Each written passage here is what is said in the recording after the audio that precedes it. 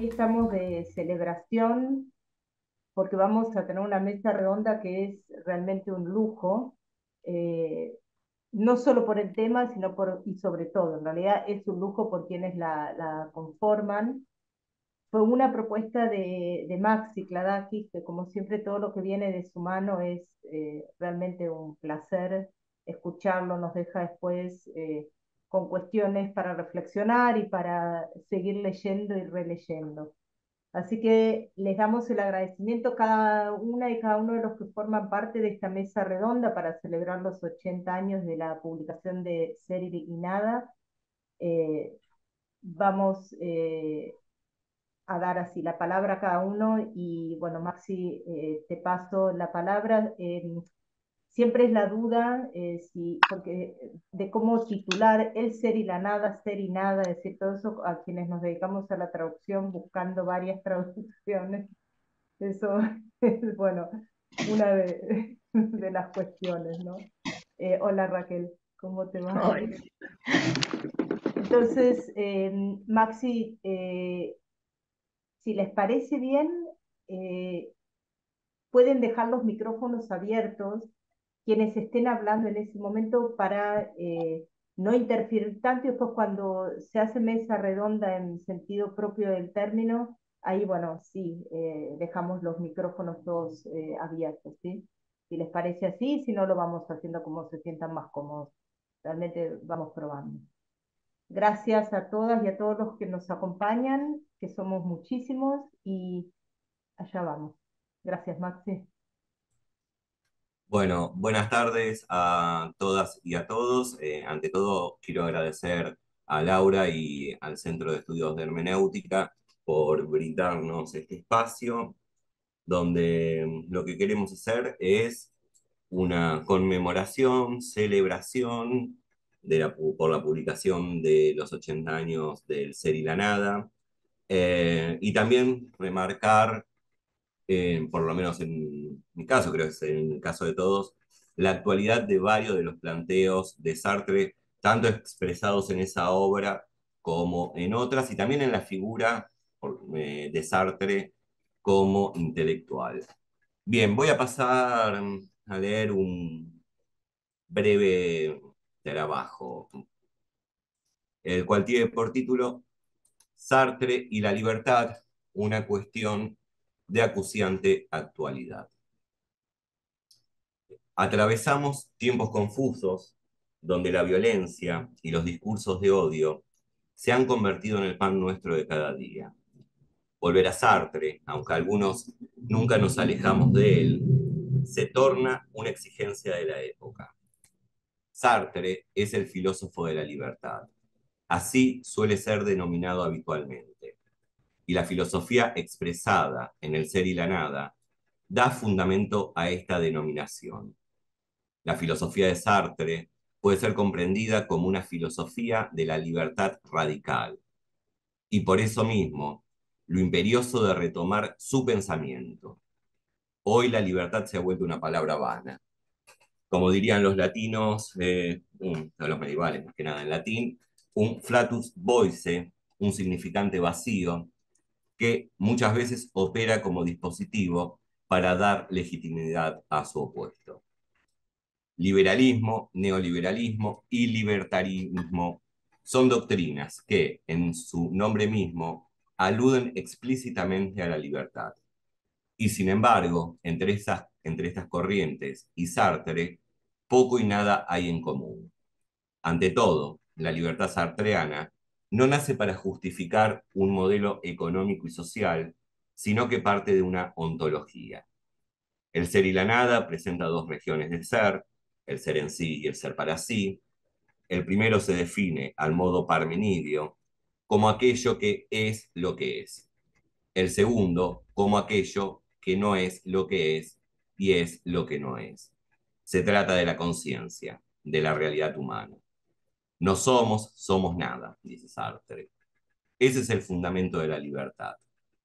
Frente a la realidad del ser en sí, somos posibilidad. Somos la región de ser que debe darse el ser. No hay esencia ni naturaleza previa a lo que hacemos de nosotros mismos. en una situación concreta, en una experiencia histórica compartida con los otros. La comprensión liberal de la libertad y las derivaciones mencionadas, decimos neoliberalismo y libertarismo, difiere radicalmente de la comprensión sartreana. Con todo, no se trata de una diferencia en términos de contrarios, sino en el hecho de que lo que la tradición liberal comprende como libertad es algo ya dado, establecido en miras de un programa político y económico. Si bien el liberalismo es una tradición de más de tres siglos, con autores tan dispares como Locke, Smith y ya en el siglo XX, von Mises, Friedman, Hayek, podemos nombrar en el siglo XXI, 2021, ¿no? Rothbard, Hobbes, por nombrar solo algunos, pueden encontrarse varios puntos en común. Uno de ellos es el emparentamiento entre libertad, capitalismo y propiedad privada. Para el liberalismo y sus ramificaciones, la libertad se realiza únicamente en la propiedad privada. Esto ya significa una elección sobre el sentido de la libertad, de la relación con los otros y con el mundo. Se trata de una noción que parte de una doctrina y no de una problematización ontológica radical sobre la libertad. Para ser libre, el hombre debe ser liberal, no hay más alternativa. Ese es el núcleo del sofisma. Se parte de una idea de naturaleza humana e incluso de una teología metafísica. Y esto lo podemos ver tanto en Locke, eh, como en Milton Friedman, como en el propio, propio Hayek, donde hay apelaciones a, Dios en autores eh, ateos o agnósticos como Hobbes, eh, aparece la idea de una naturaleza humana, etc. A partir de esto, el liberalismo, en términos sartreanos, totaliza y conquista el mundo a partir de la posesión económica y jurídica de bienes. En ella se realiza su libertad, así como en otros casos que puede mencionar Sartre, como es el del escritor que lo hace por medio de la escritura o el del atleta que lo hace por medio del entrenamiento. Es en el comercio, en el capitalismo, en los negocios, en síntesis, en esa abstracción de tintes teológicas denominada mercado, donde el liberalismo reconoce la libertad. Y lo hace de manera exclusiva. Y acá como un paréntesis, es interesante ver cómo el liberalismo desde sus inicios, Jean Locke, establece eh, una exclusión del otro. En la Carta de la Tolerancia, por ejemplo, escrita por Locke, eh, en defensa de la libertad religiosa, excluye de los que deben ser tolerados a los católicos y a los ateos. O sea, quedan nada más los protestantes, ¿no? Después podemos ver eh, Popper cuando habla de la paradoja de la tolerancia, no Popper, que es más que nada reconocido por su epistemología, también tiene tratados políticos y económicos, es un liberal, es casi un, un punto bisagra entre el liberalismo y el neoliberalismo, y en este texto habla de la paradoja de la tolerancia, donde dice que la democracia que no puede tolerar a los intolerantes. Hasta ahí está bien y Popper lo que hace manifiesta una paradoja implícita en la democracia, en donde la cuestión es quiénes son aquellos intolerantes que no pueden ser tolerados por la democracia. Vamos hacia un autor contemporáneo como es Hobbes, y dice explícitamente, lo que voy a decir es explícito, es una cita textual, que una comunidad libertaria eh, tiene que excluir a comunistas, demócratas, homosexuales, ambientalistas y a todos los que lleven a cabo una vida alternativa. cierro el paréntesis. Eh, por, otro, por otra parte, como lo indica el propio Sartre, el liberalismo parte de una lógica analítica, es decir, abstracta, divide lo particular, eh, eh, divide lo concreto en partículas atómicas. El individuo aparece como, cito a Sartre, la encarnación singular de los rasgos universales que constituyen la naturaleza humana. Fin de la cita. La lógica analítica que lo caracteriza hace que solo vea individuos independientes de su situación, relacionados entre ellos solo por lazos de exterioridad. Cada uno es libre por sí mismo al lado del resto. Un ejemplo de esto es la premisa en torno a que mi libertad, esto es ya frase del sentido común prácticamente, la mm, premisa de que mi libertad termina donde comienza la del otro, la cual puede ser un postulado del derecho, pero no una descripción genuina de la realidad efectiva donde se juega la subjetividad y la intersubjetividad. Por el contrario, mi libertad siempre colisiona con la del otro compartimos un mismo mundo, una misma historia. En la fenomenología existencial de Sartre, mi ser depende del otro y el ser del otro depende de mí. En cierta medida, pensando también en autores como Merleau-Ponty, mi libertad no termina donde comienza la del otro, sino que mi libertad se inicia donde está, donde eh, comienza la libertad del otro. En este sentido, podemos decir que el símbolo libertario expresión radical de la sentencia liberal que acabamos de mencionar, de la serpiente con la frase no me pises, no es más que una quimera. Nos encontramos siempre atravesando al otro. Mi libertad se inmiscuye con la del otro y la del otro conmigo. Es sumamente conocida la sentencia de Sartre de El existencialismo es un humanismo, donde se afirma que cuando nos elegimos, elegimos a la humanidad entera. Si la libertad es absoluta, como dice Sartre, la responsabilidad también lo es. No se trata, sin embargo, de una responsabilidad que se restringe, como lo puede hacer en ciertos discursos liberales, a mi existencia individual. Por el contrario, se trata de una responsabilidad que abarca a toda la humanidad. Una humanidad con la que me encuentro ontológicamente comprometido. Ahora bien, Además de la distancia conceptual con el liberalismo, la crítica de Sartre tiene como referencia también la función histórica que ha cumplido y cumple esta doctrina. En el ensayo ¿Qué es la literatura?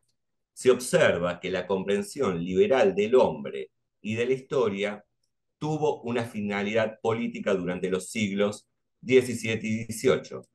Esta no es otra que dar legitimidad a la lucha de la burguesía contra el orden de estamentos ¿no? del antiguo régimen. La lógica analítica del liberalismo y sus consecuentes proyecciones morales y económicas, al hacer del individuo abstracto el centro de su pensamiento, resultó fundamental para combatir el modo de pensamiento totalizador que fundamentaba a la vieja sociedad. En un momento histórico para Sartre, se trató de una doctrina que legitimaba una praxis que podríamos denominar progresista. Sin embargo, habiendo vencido la burguesía en su lucha contra la aristocracia, se tornó esta la clase dominante, por lo que la lógica liberal desde el siglo XIX en adelante tiene como única misión, cito a Sartre, turbar la conciencia revolucionaria y aislar a los hombres en beneficio de las clases privilegiadas. Fin de la cita. La doctrina liberal hoy tiene como objetivo político la defensa del statu quo. El individualismo metodológico fundamenta el orden de división de clases sociales, ya que para ella no existen las clases sociales, sino solo individuos. Precisamente, aquí aparece la justificación de la explotación la idea de que el trabajo asalariado, por ejemplo, se funda en un contrato entre dos hombres igualmente libres, el capitalista y el proletario, justifica las prácticas de explotación. En la crítica de la razón dialéctica, Sartre señala que, cito, toda la buena conciencia del patrón descansa sobre ese momento del intercambio en que el asalariado se supone que ofrece con plena libertad su fuerza de trabajo. Fin de la cita. Como ya hemos visto, se reconoce una libertad que no es en situación y se equiparan dos libertades ignorando las condiciones concretas de existencia. Mientras las posibilidades del patrón se abren en un abanico mucho más amplio, las del asalariado se pueden reducir a aceptar el contrato o morir de hambre. La siguiente sentencia de Sartre se sumerge en el núcleo de la cuestión. Cito, el respeto absoluto de la libertad del miserable en, el momento de hacerse el contrato es la mejor manera de abandonarle a las sujeciones materiales. Fin de la cita. La libertad del liberalismo cumple la función de legitimar la explotación. En este sentido, al operar una lógica analítica, los conceptos de libertad y de igualdad, alienados de la situación concreta, sirven de fundamentos para la desigualdad y la miseria. Eh, podemos decir que la doctrina liberal cumple una función histórica, la defensa del capitalismo en cuanto sistema determinado por la explotación y la opresión. Se trata además de una elección de un dispositivo ideológico y discursivo que tiende a perpetuar, extender y consolidar el orden establecido.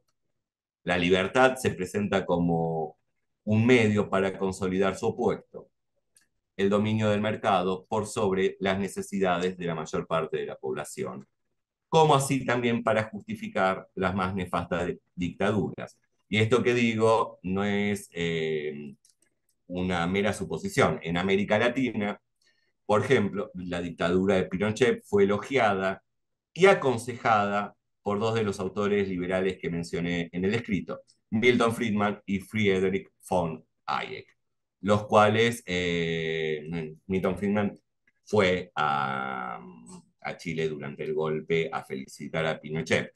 Al mismo tiempo, estos dos autores tuvieron un rol activo en la última dictadura cívico-militar argentina. Hayek vino incluso en 1977 a la, a la Facultad de Economía de la UBA a dar varios cursos y era alguien muy admirado por ni más ni menos que Martínez de Oz. Eh, bueno, hoy mismo América Latina está siendo testigo del resurgimiento de la violencia política.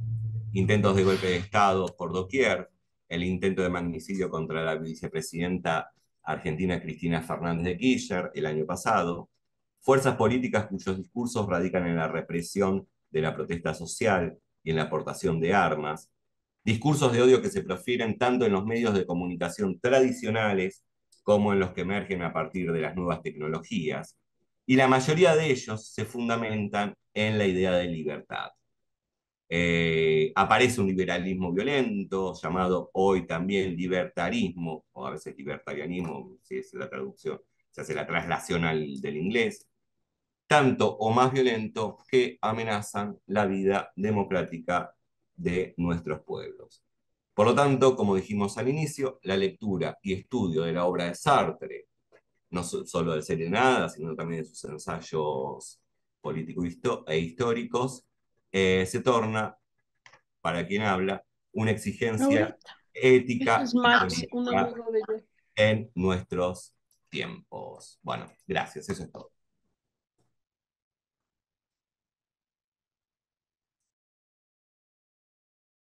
Un poco más. ¿Sigo? Bueno, buenas tardes para ustedes. A ver, se me mutó. Bueno, este, buenas tardes para ustedes, buenas noches para mí. Ando en viaje, en congreso, entonces estoy un poco fuera de mi, de mi local. Eh, y escuchándole a Max, eh, me gustaría empezar con una pregunta disparadora. La verdad es que yo tengo varias cosas eh, en la cabeza, pero no tengo un texto tan bonito escrito. Eh, me gustaría entonces, este, como había quedado con los chicos, exponer un poco de lo que pasa, ¿no? Con este individuo singular, ¿no? Que sufre, que desarrolla un, algún sufrimiento psicológico atravesado por el capitalismo, que es de lo universal en nuestra época, ¿no? Y viene a mi consultorio, que bueno, es virtual hoy en día, pero que toca ahí en la puerta del WhatsApp, ¿no? A pedir terapia, porque no, ya no puede, no se siente agotado con las situaciones que, que vivimos.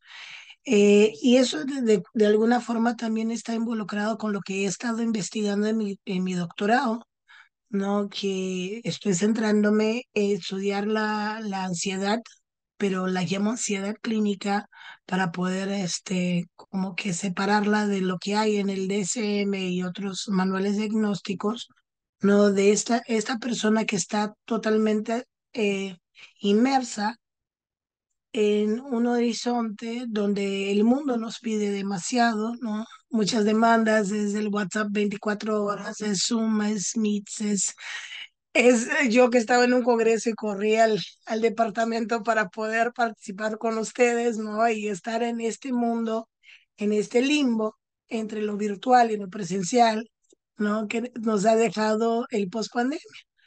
¿no? En la pandemia como que nos abrió la posibilidad de poder estar juntos sin estar juntos y ahora tenemos que estar juntos en presencia. Además, mantener todo esto que creamos de cierta forma en un mundo virtual. Eh, entonces, ¿qué pasa con esta persona, no? ¿Y cómo trabajo yo? Eh, muchos de nosotros, o sea, también me gustaría hablar por, no sé si saben, en los que nos están viendo, mis colegas sí lo saben, ¿no? Porque siempre lo menciono. Este, yo soy brasileña, ¿no? Y, y en Brasil eh, es el país que más estudia SART para aplicarla a la psicología. En verdad es el país que más estudia SART, punto. No en tesis doctorales es el mayor número, ¿no? Y cada vez más en psicología. Mucho, la, gran mayoría de gente que estudia SART es de psicología. Y muchos trabajan con lo que, lo que se llama psicoanálisis existencial, que es lo que nos es expuesto ¿no? en el, el ser y la nada, que es lo que estamos aquí celebrando 80 años, la publicación. Eh, entonces muchos dicen que Ay, no, lo que hacemos es psicoanálisis existencial. Yo marco una diferencia eh, junto con otros, otros menos, menos números que los que dicen hacer los psicoanálisis existencial, que yo sí me preocupo en poder aplicar lo que es desarrollado luego. No hace dos o tres semanas, perdón, estoy perdida en el tiempo, son muchos eventos y de vuelta a casa y evento de nuevo y tal, pero hace como dos o tres semanas les di una conferencia, ¿no? En donde expongo un poquito de lo que, del, del desarrollo del psicoanálisis existencial en el ser la nada y lo que se mantiene cuando él sigue desarrollando el método, ¿no? Y la crítica de la razón dialéctica con el método progresivo regresivo. Entonces, o sea, yo, yo creo que sí, Sartre nos empieza a dar herramientas para eh, pensar cómo en verdad comprender a, es, a, el ser humano en el mundo, ¿no? Desde el ser y la nada con el psicoanálisis existencial, pero que da un salto eh, grande con el método progresivo, regresivo y la crítica. Entonces, o sea, cómo me gusta trabajar es justo un poco de lo que, lo que apunta Sartre, ¿no? Eh, al llegar, cuando me, me, llega un paciente, lo primero, o sea, nosotros no tendemos a usar anamnesis como los demás psicólogos. No, lo que hacemos es, sí, tratar de explorar y, y entender qué es lo que le pasa a esta persona, qué es lo que trae, y luego pasar al, al, al aspecto que es regresivo del método, ¿no? Y buscar investigar ahí en su pasado cómo ha llegado, ¿no? Cómo se fue creando desde que nace hasta el momento que viene al consultorio. Pero, y esto sería muy, muy marcado por el aspecto, bueno, el método regresivo del psicoanálisis freudiano según Sartre. No, es que te iba decir según Sartre, no, Jacqueline me, me salta. Mentira. Este, eh, que es este aspecto de investigar el pasado, ¿no? Para ver estos rasgos y si vamos en, en el ser y la nada, hay, hay toda esta dimensión del pasado como en sí, ¿no? El pasado como algo que, que hemos trascedido para hacernos en el presente y eh, con un objetivo a futuro, ¿no? Que sería el proyecto. Entonces empiezo a recoger todas esas informaciones de aspecto regresivo ¿no? Y en cierto punto empecé, eh, también se empieza a cada vez más tratar de adentrar en lo que es el progresivo, no es tratando de hacer una síntesis de lo que nos está trayendo, lo que le está pasando en el presente también, para pensar entonces este, hacia dónde apunta, ¿no? Hacia qué proyecto eh, tiene. Eh, diferente de muchos de mis colegas también, y aquí hablo colegas brasileños, ¿no? De la psicología, eh, yo no creo que se pueda llegar exactamente, ¿no? En un, en lo que es el proyecto fundamental o original de la persona, exacto. No, yo lo que tengo, y si vamos también en ese nada en la parte de psicoanálisis existencial, que Sartre pone que cada gesto, cada manifestación, ¿no? Cada cosa del individuo habla de su proyecto. Yo creo que podemos tener un vislumbre de él, ¿no? Pero nunca estamos totalmente seguros. Eh, también porque en, bueno, más raros casos, ¿no? Como, como lo que vemos en Genet, ¿no? En la, en la biografía que Sartre hace de Genet, y también la de Flaubert, pero la de Genet marca más eh, dos puntos de conversión radical, ¿no? que, que Sartre llama de conversión radical, donde esta persona entonces elige por un proyecto distinto. No, eh, en todos mis años yo llevo, no puedo hablar de los años porque bueno, soy conservada informal, pero no soy tan, tan chica como pueda creer. No, es eh, en todos mis años de, terapia, haciendo terapia, de dando terapia, ¿no? Como psicóloga, eh, yo creo que si vi una persona que hizo un cambio muy grande hacia donde iba, apuntando, es mucho. No, o sea, normalmente esto es lo que nos queda de, de en sí, ¿no? De, de lo vivido, aunque después Sartre va a llamar lo vivido del pasado. Este, sí, como que no quiero decir determina, pero nos condiciona a seguir eh, de cierta forma estos, esos rasgos, ¿no? Entonces, este, es muy difícil que encontremos en verdad lo que, lo que Sartre apunta ahí en el en Genet, pero la idea es que eh, a partir de la toma, la toma de conciencia de, de, estos vislumbres que vamos teniendo del proyecto, que la persona pueda entonces, eh, de cierta forma, apropiarse un poco más de su proyecto y hacer decisiones, no quería decir más conscientes, pero ya lo dije, ¿no? Eh, lo que me lleva de vuelta a mi investigación doctoral, porque allí defiendo que la angustia, como descrita por Sartre, ¿no? la angustia existencial, es una herramienta poderosísima, ¿no? Para poder entrar en contacto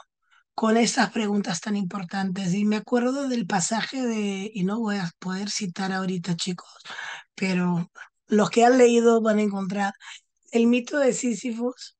Es Martín que trabaja, que trabaja camino.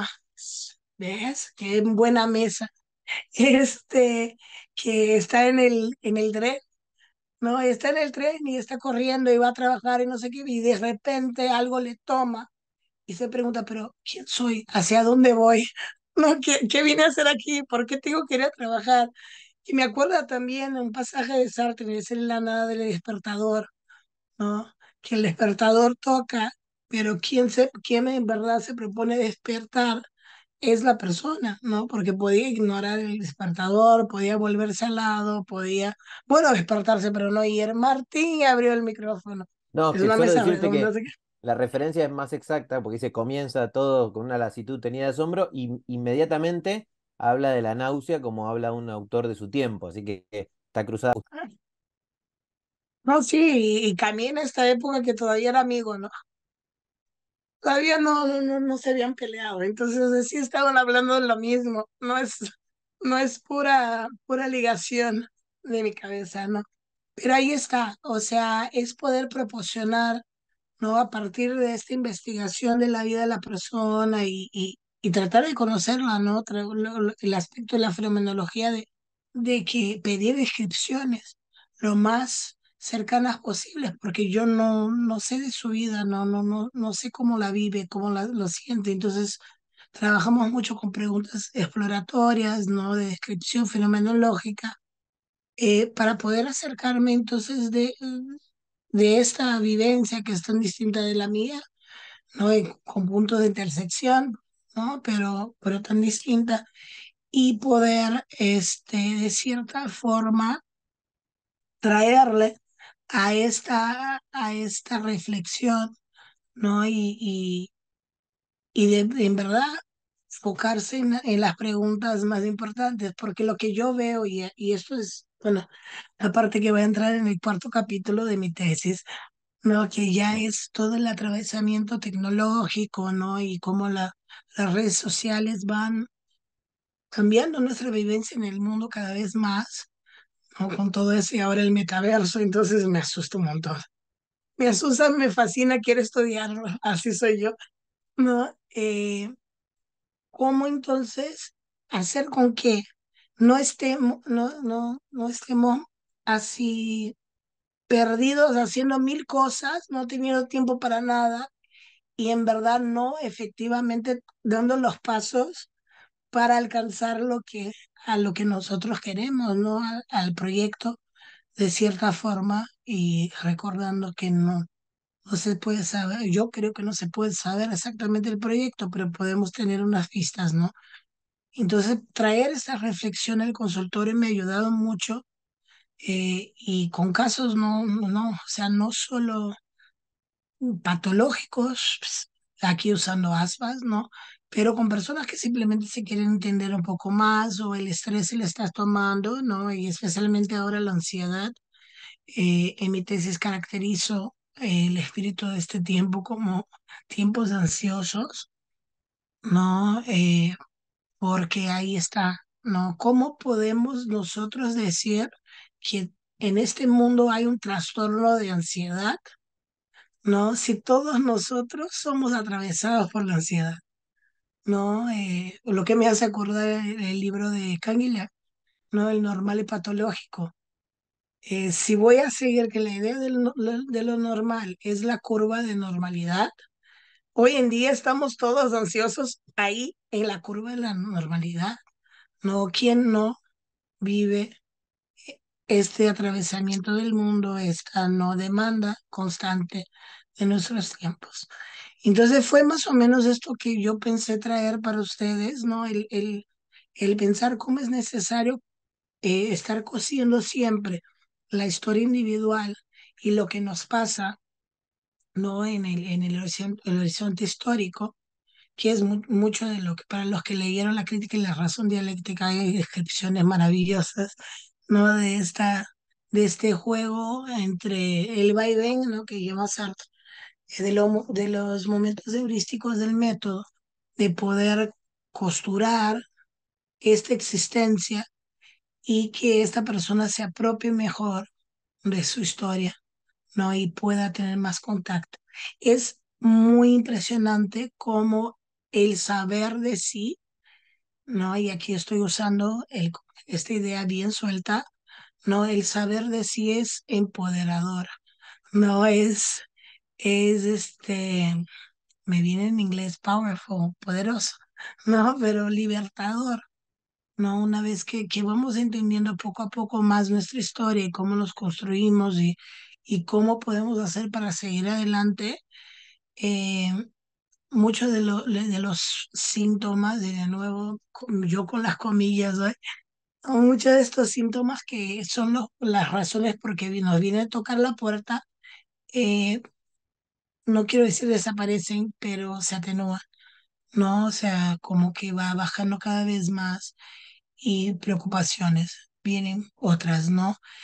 Eh, también elaboran lo que, bueno, todo lo, cuando me viene un paciente que no tiene la mínima idea de, del abordaje que yo uso, ¿no? Aparte de hablar de que sí es como filosofía aplicada, porque si les, digo fenomenología, eh, fenomenología existencial, y me mira como que, ¿qué tal? Palabrota, ¿no? Este, cuando están acostumbrados con, con los otros nombres. Es, es puntuarle justo eh, esto de, de que yo no me centro en los síntomas, no, yo me centro en la vivencia y el tratar de comprender y que esto, esto ya es poderoso por sí solo para poder hacer adelante. Ahí se me escapó la idea, pero ya volvió. Y también porque vienen con la idea de que, ay, me voy al psicólogo y el psicólogo me va a resolver la vida, ¿no? Como si tuviéramos ahí el poder mágico eh, de resolver la vida de todos. Y siempre, ¿no? Cuando nosotros mismos no hemos resuelto la nuestra. Pero bueno, entonces la idea también es poder de cierta forma ofrecerles herramientas para hacer frente a futuros problemas cuando ya no estén siendo acompañados por nosotros, ¿no? Pero sabiendo que qué bien que la vida tiene su lado bueno, su lado malo y que oscilamos entre esto, ¿no? Qué bien, porque yo no podría valorar lo bueno si no supiera lo que es malo, ¿no? Yo no podría sentir felicidad si no, si no hubiera sentido tristeza. Eh, y por ahí va. Entonces, este es más o menos lo que pensaba traer, ¿no? Eh, como la psicóloga del grupo, bueno, Jacqueline es psicoanalista, yo soy psicóloga, bueno, ahí conversamos en cosas, ¿no?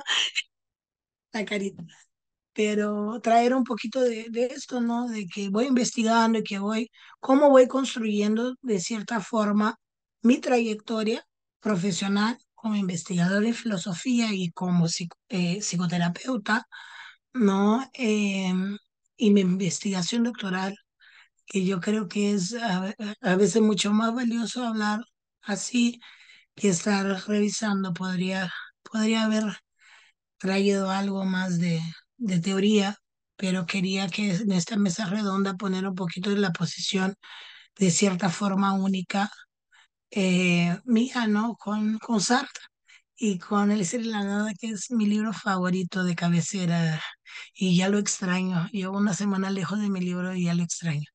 Pero bueno, gracias chicos por escucharme y estoy aquí para seguir escuchándolos y que conversemos. Bueno, gracias. Ahí sigo yo, ¿no? Así era el orden. Hola a todos y a todas. Bueno, yo escribí unas carillitas, son seis, no son muchas, prometo no aburrir. Así que les, les voy a leer. Igual no va a ser una lectura directa, pero ese es el plan. En primer lugar, había pensado dar las gracias a Max y al centro para, por el hecho de nada, de esta ocasión, de compartir esta mesa redonda por el aniversario de un libro, que ante todo es una ocasión de fiesta, ¿no? ¿Sí? Y la alegría de esta fiesta se justifica por el escrito, ¿sí? Y en general, por, por lo que el autor también, este escrito, este autor, nos han legado a la posteridad para avivar el, el fuego de la reflexión. En segundo lugar, antes de esbozar algunas breves líneas sobre el tema de la literatura, y en particular de la mirada, no quiero dejar de manifestar, dejarlo bien asentado, que me acerco a esta mesa atravesado por el don del santo temor de Sartre. ¿Sí? Esto es, con el debido respeto que se le debe a un autor de tal magnitud, y sobre todo con el sigilo que me, me autoimpongo en relación con los comensales de, de, esta mesa, que son de pura cepa sartreana, ¿no? Todo lo cual, sí, para, para seguir con la metáfora evangélica, me voy a sentar en el último lugar, ¿no? Ahí me quiero, me quiero poner. Pero bueno, hechos estos agradecimientos y aclaraciones, vamos a la, a la memoria de lo que nos reúne, que es justamente el libro, ¿no? La memoria de este libro y de un pensamiento vivo que está contenido en las páginas de una obra que 80 años después sigue en muchos de sus planteos teniendo una vigencia muy llamativa, como decía Maxi al principio. Esta obra, de la que pueden decirse muchísimas cosas, comenzando por su complejidad, su difícil manipulación a la hora de trabajar con ella, su minuciosidad en la elaboración de los análisis, su perspicacia para realizar determinadas descripciones fenomenológicas, su audacia para imponer determinados planteos, su gran tamaño y más que nada su exhaustividad para exponer lo que el autor pretende, esta obra, como les decía, ha funcionado para mí siempre como una invitación a la reflexión. Y en esta ocasión lo que me gustaría compartir con ustedes es una reflexión en torno al problema de la mirada y del cuerpo para otro. Em, Sartre explica eh, que cuando todo mi ser está entregado al acto de mirar, ¿sí? por ejemplo, al espiar por una cerradura, soy una pura conciencia irreflexiva, soy mis propios actos. ¿no? Él dice, pura manera de perderme en el mundo, de hacerme beber por las cosas como la tinta por un secante. Pero si de pronto escuchamos un ruido de los pasos de alguien que está ahí detrás nuestro, inmediatamente nos sentimos avergonzados por esta actitud de estar espiando, ¿no? Y esa vergüenza que siento es generada por la mirada del otro. Antes de ser visto por otro sujeto, yo era un absoluto que poseía eh, la discusión que observaba por la cerradura, pero de repente tomo conciencia abruptamente de mi ser en el mundo, no ya como un absoluto, sino como una cosa, alguien me ve en esa situación. ¿sí? Yo existo como un cuerpo que está allí espiando, soy introducido en el mundo. No soy más su espectador absoluto. Y esa vergüenza en el fondo es, como dice Sartre, tengo vergüenza de mí tal como me aparezco al prójimo.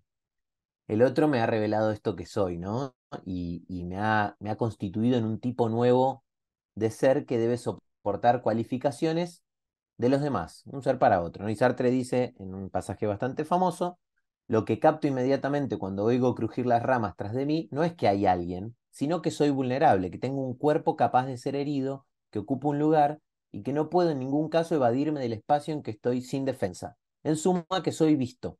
¿Qué quiere decir esto? Que soy de pronto alcanzado en mi ser y que aparecen en mi estructuras modificaciones esenciales que puedo captar y fijar conceptualmente por el cogito reflexivo. Bien, yo tomo conciencia de mi ser en el mundo gracias al otro. El otro me hace ser algo en el mundo, ¿sí? Su mirada me espacializa, me hace saber que mi conciencia está anclada en un cuerpo que puede ser visto, que ocupa un lugar y que puede ser herido, objetivado. El hecho de ser visto desencadena entonces la aparición en mí de estas estructuras que puedo captar mediante la reflexión.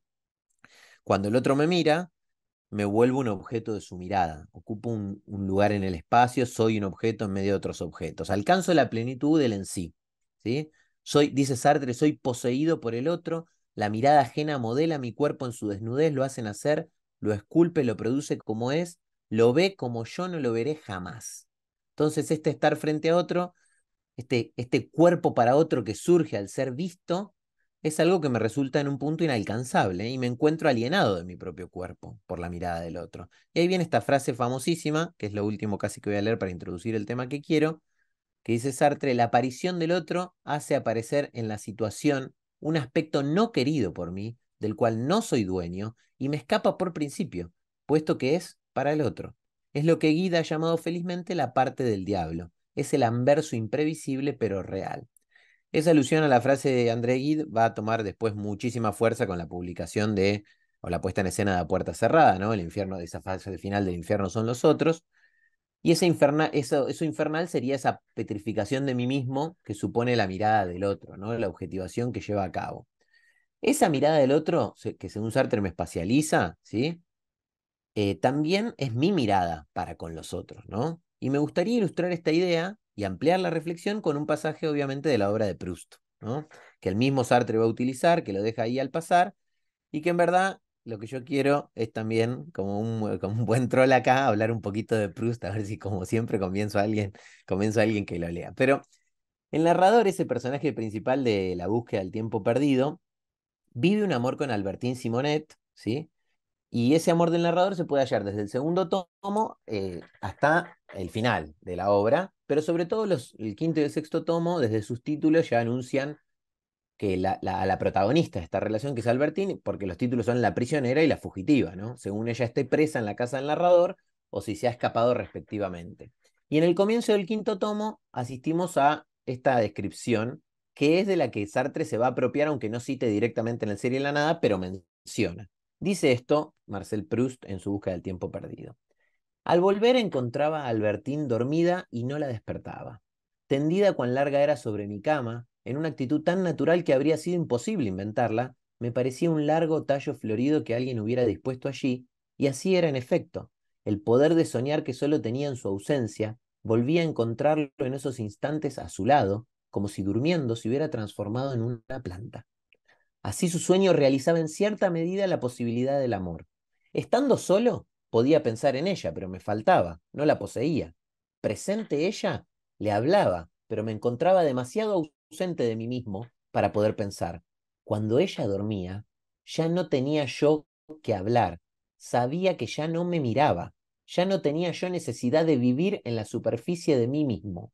Al cerrar los ojos, al perder la conciencia, Albertín se había despojado uno tras otro de sus diferentes caracteres de humanidad que me habían decepcionado desde el día en que la había conocido.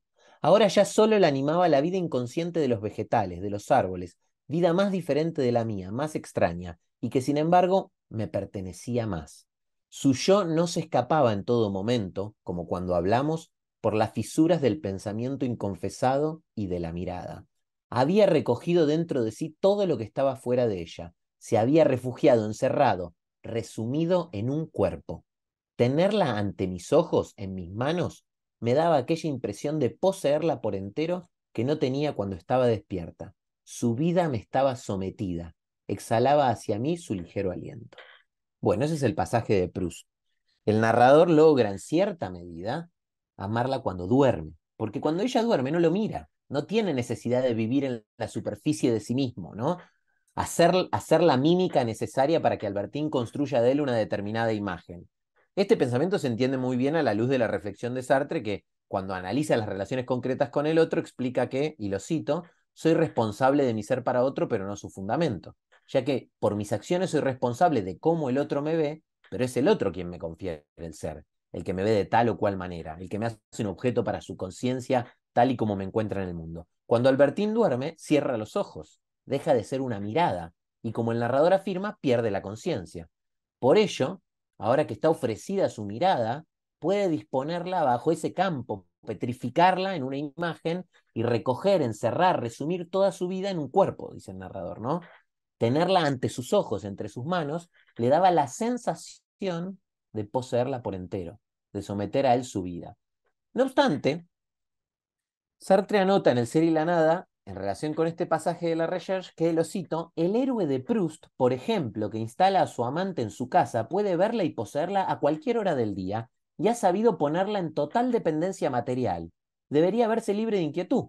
Sin embargo, sabemos que está, al contrario, roído de cuidados. Albertín escapa a Marcel, aun cuando la tenga al lado por medio de su conciencia, y por eso él no conoce tregua sino cuando la contempla dormida. Pero Albertín no duerme todo el día, ¿no? Y sería al menos complejo o patológico hablar de una consumación del amor cuando un amante está dormido, ¿sí? Eso solo pasa, digamos, en las películas de Disney como La Bella Durmiente. Pero eso lo saben tanto Sartre como Proust. Sartre dice que el héroe conoce la tregua cuando duerme, pero es solo por un momento. En la vigilia, a pesar de tenerla prisionera, igualmente está roído de cuidados. Proust en la Recherche también señala esto mismo y por eso leemos que esto dice el narrador, solo se ama aquello en lo que se persigue algo inaccesible, solo se ama lo que no se posee, y muy pronto volví a darme cuenta de que no poseía a Albertín. Este pensamiento del narrador nace mientras observa a Albertín prisionera, a quien ve como un animal salvaje domesticado. Sin embargo, hay algo en ella que no puede ser poseído, domado, ¿sí? atrapado, y eso que no puede ser domado es su mirada esa mirada profunda, llena de un pasado inaccesible, de experiencias desconocidas, de pensamientos ocultos, esa mirada no puede ser capturada. Los ojos de Albertín son la vidriera a través de la cual se observa un paisaje al que nunca se podrá acceder. Sus ojos son el límite infranqueable, la puerta que siempre está cerrada, que da acceso a un mundo que no puede ser colonizado, objetivado, poseído. El narrador está obsesionado con Albertín. Su deseo consiste en lograr poseerla absolutamente al punto de tenerla escondida en uno de los cuartos de su casa e impedir que ella se encuentre con las visitas. Sin embargo, este deseo se va a topar con un escollo que es infranqueable, con la efectiva confirmación de su consumación, de la imposibilidad de su consumación. Ese límite es la mirada de Albertín que esconde un mundo inalcanzable, inaprensible. Y esto dice el narrador, ¿no? Dice, por sus ojos veía pasar tan pronto la esperanza como el recuerdo, quizá el remordimiento de alegrías que yo no conseguía adivinar, a las que en ese caso prefería renunciar antes que decírmelas, y en las que al captar solo ese resplandor en sus pupilas, yo ya no percibía más que el espectador al que no han dejado entrar en la sala y que pegado al cristal de la puerta vidriera no puede distinguir nada de lo que pasa en el escenario. Durante esas horas, a veces veía flotar sobre ella en sus miradas, en su mueca, en su sonrisa, el reflejo de aquellos espectáculos interiores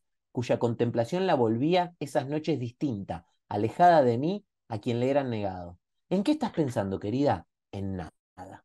¿Qué esconden esos ojos de Albertín? Al mirarlos, solo ve su propio reflejo. Se ve a sí mismo como espectador de la vida de Albertín. Vida que lanza destellos de maravilla que se dejan entrever en sus muecas y sonrisas, pero que se muestra como vida privada, inaccesible, a la que él asiste como ese espectador al que no dejaron entrar en la sala y que está pegado sobre el cristal a ver si logra ver algo, ¿no? El narrador quiere penetrar allí por la palabra, pero también ahí se le impone un límite a esa dimensión, porque ella está pensando en nada, ¿no? ¿Qué hay en esa región inexplorada de Albertín, en esa dimensión de su interioridad? ¿sí? La ignorancia sobre estos temas lo altera al narrador, ¿no? Él quiere poseerla absolutamente. Acá vamos a ver después la frustración de esa actitud para con el otro que Sartre también anuncia en el ser y la nada.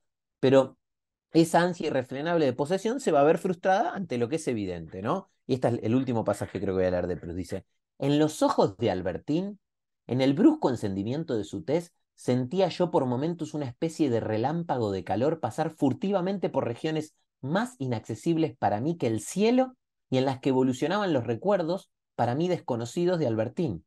Entonces esa belleza que pensando en los años sucesivos en que conociera Albertín, bien en la playa de Balbec, bien en París, le había encontrado hacía poco, y que consistía en que mi amiga se desenvolvía en tantos planos y contenía tantos días pasados, esa belleza adquiría para mí algo de desgarrador.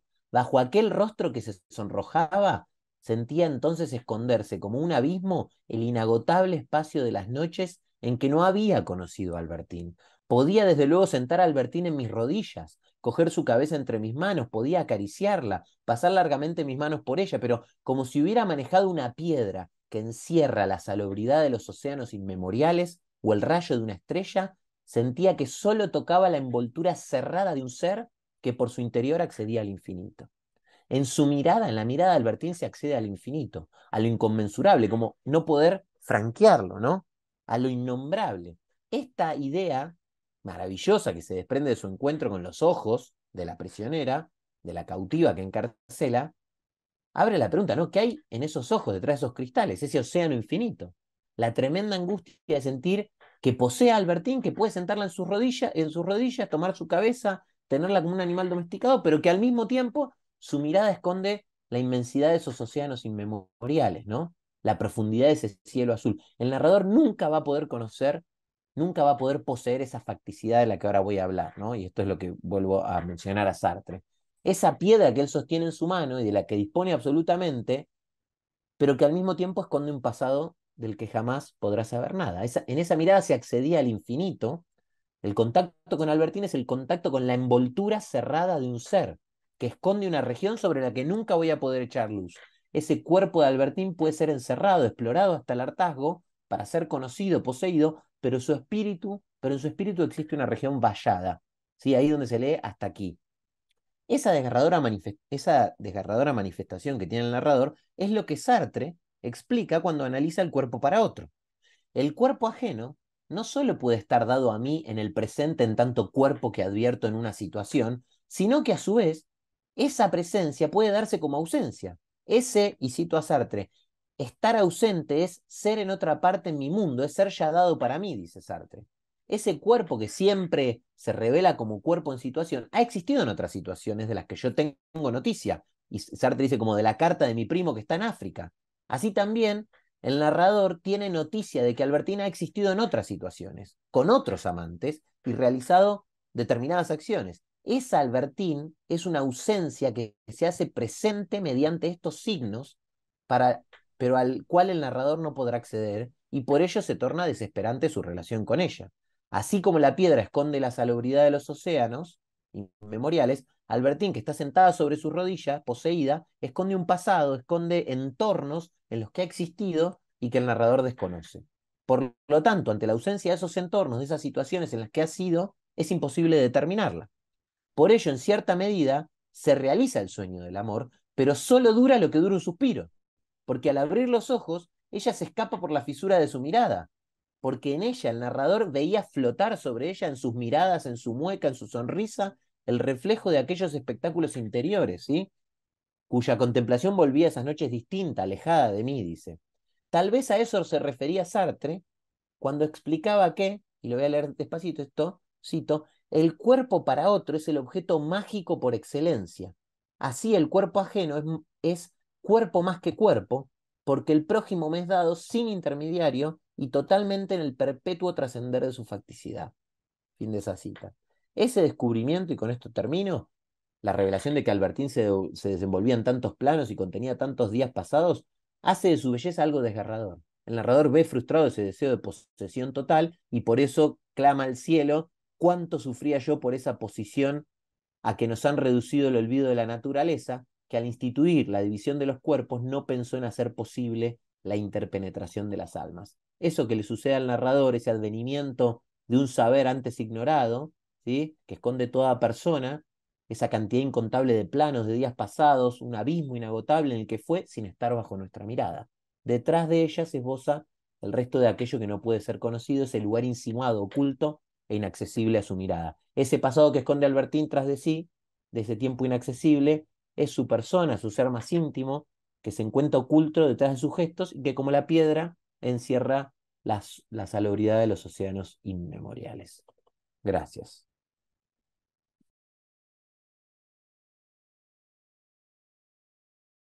¿Cómo seguir después de esto?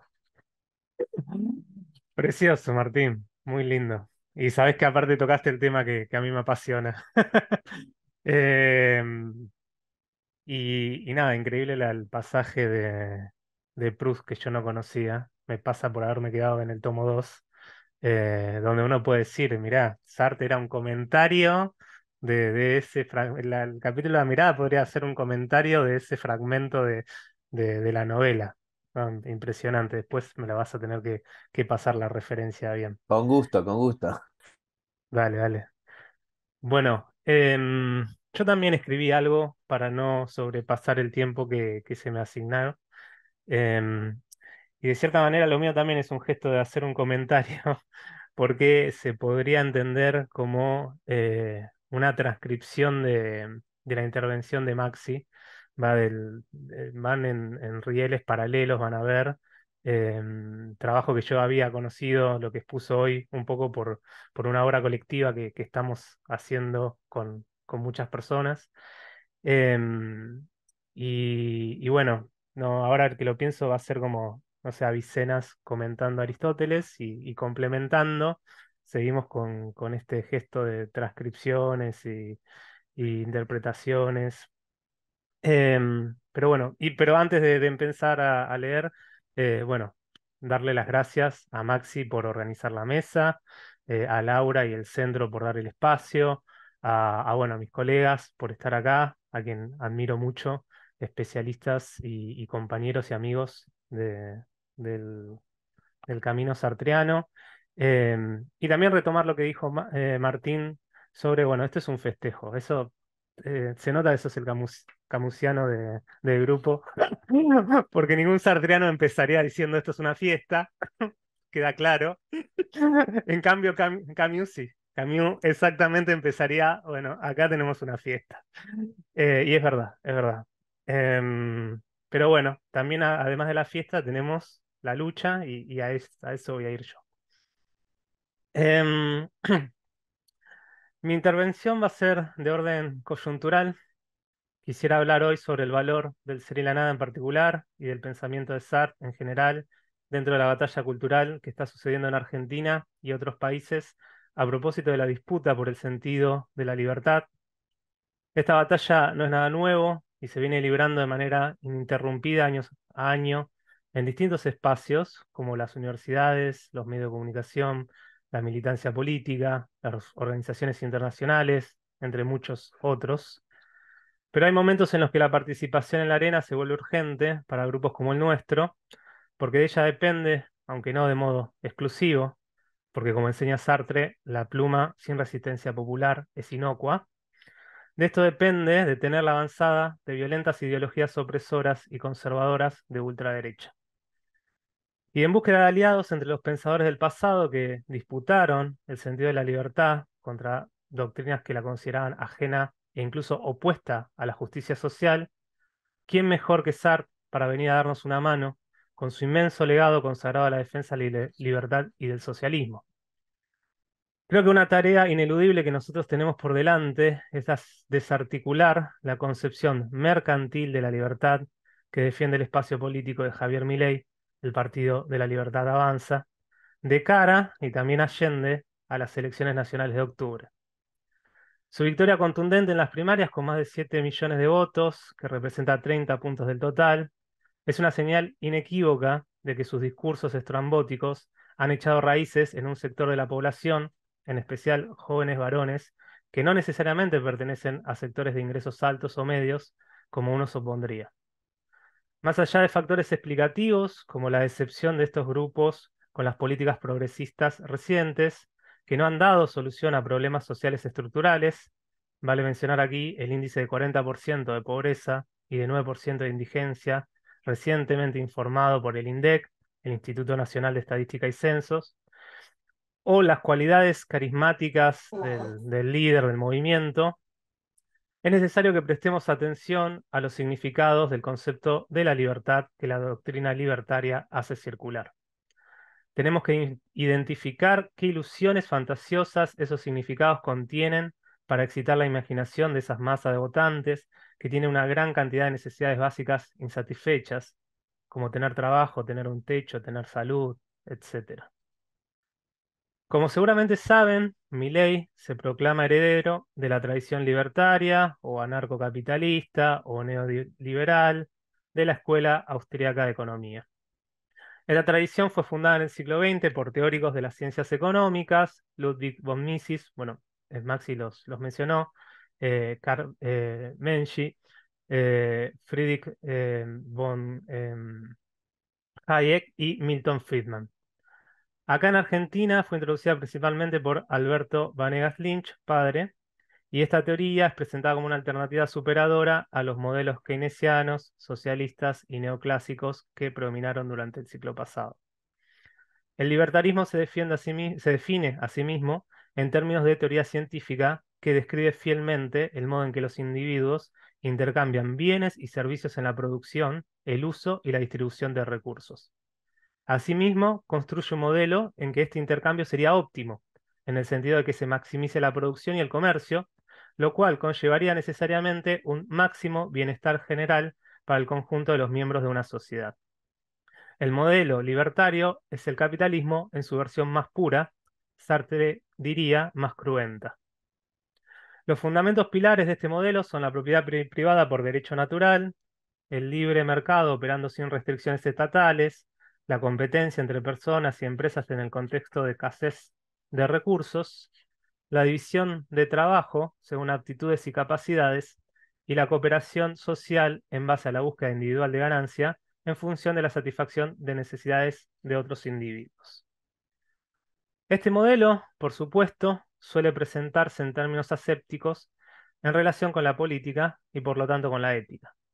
Se trataría de la descripción de un ideal de cálculo utilitario de optimización basado en evidencia empírica. Nosotros sabemos de sobra que rara vez el discurso neoliberal no acarrea detrás de sí un fardo de reivindicaciones reaccionarias y fascistas, como la oposición a la igualdad de géneros, la reivindicación del terrorismo de Estado, la negación del cambio climático, el rechazo de los derechos de los pueblos originarios sobre tierras ancestrales y la lista podría continuar. Pero más allá de estas ideas en contra de distintos proyectos de inclusión social y cuidado del medio ambiente, el núcleo teórico del modelo libertario contiene en sí mismo un proyecto ético, un conjunto de valores que se busca realizar por medio de la praxis humana al interior de una situación material. Esto es lo que denunciaría Sartre en la actualidad, y así lo hizo, de hecho, en la conferencia sobre ética en Roma de 1964 solo que en ese momento no discutía con liberales, sino con los marxistas estalinistas, en particular con su ex alumno Jan Kanaba, quien decía que la doctrina marxista no contenía una teoría de valores, sino que era la pura descripción y predicción de la dialéctica de las relaciones de producción. En verdad, todo modelo económico supone una moral, y a la inversa, toda, toda moral supone un modelo económico, diría Sartre. Sucede que el ser humano no es meramente el valor de una variable dentro de una ley científica, provenga esta ya sea de la economía o de la psicología o de las neurociencias, una ley que busca predecir la conducta humana tomando al individuo o al colectivo como cosa inerte y determinada. Al contrario, la realidad humana es un ser que está en cuestión en su ser, es libre para elegirse e inventar valores dentro de la situación en la que le tocó existir. Como, como sostuvo Maxi, el libertarismo es una elección, ¿no? es un proyecto de humanidad desde la óptica sartreana. Un proyecto de mala fe que defiende una representación mistificada del ser libre del sujeto al proponer una definición formal e idealista de la libertad reducida a mero corolario del derecho a la propiedad privada. Es decir, de un supuesto derecho incondicional del uso del propio cuerpo, del fruto del trabajo y el patrimonio heredado. Este supuesto derecho es un constructo ideológico para justificar el statu quo de desigualdad material. Permítame leer un pasaje de los cuadernos para una moral, obra póstuma inconclusa que debería haber sido la secuela del ser y la nada. Aizar dice, eh, refiriéndose al derecho, el derecho siempre parte de un statu quo que nos comprometemos a no cambiar. Es decir, el vencedor no solo impide por la fuerza que el vencido recurra a la violencia, exige de él como libertad abstracta el compromiso moral de no recurrir a ella, o sea, el compromiso a no resistirse. El truco está hecho, o la trampa está hecha. El oprimido tiene tantos derechos como el vencedor, por lo tanto, son iguales como personas morales solo que hay igual de derechos sobre menos posesión. ¿Cómo interpretar esta breve cita en la coyuntura actual? Del siguiente modo. Hay una estrategia de ocultamiento de la injusticia de la explotación de los trabajadores y la concentración del capital en una sociedad capitalista de libre mercado, apelando a un derecho igualitario de todos, el derecho a la propiedad privada. En el imaginario libertario no hay opresión social mientras se resguarde la propiedad privada. Las desigualdades se originan por las diferencias naturales de aptitudes, y dicho de manera bestial, el mundo se divide entre industriosos y holgazanes, y también por el azar de la fortuna. Recapacitemos de qué sirve reconocer el derecho de todos a vender un riñón. Sirve para que el rico conserve la conciencia tranquila cuando compra a un pobre un órgano en calidad de mercancía. ¿Qué culpa tendría alguien que, que solo hace una libre transacción comercial basada en un derecho igualitario a hacer del propio cuerpo lo que uno quiere? Y en este caso, venderlo. El rico piensa que no coaccionó de ninguna manera al donante a que se desprenda de su riñón. Quien motu propio terminó en esta situación a no haber tenido las capacidades suficientes para ser un vencedor en el limpio juego del mercado. La doctrina libertaria redime de toda responsabilidad a los capitalistas y sus representantes políticos, su casta, de la misma manera en que el racismo exonera al colonialismo.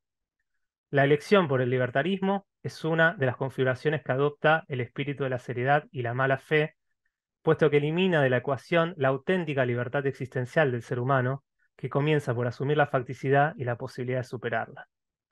En fin, espero que este brevísimo tiempo, en este brevísimo tiempo, poder haber dejado en claro algunas indicaciones escuetas, pero esenciales, sobre la importancia de hacer subir a SAR al ring de la batalla cultural por el sentido de la libertad en el contexto del avance de ultraderecha. Yo los invito a combatir la concepción mercantil de la libertad, empuñando la concepción existencialista y socialista que SAR nos legó. Gracias.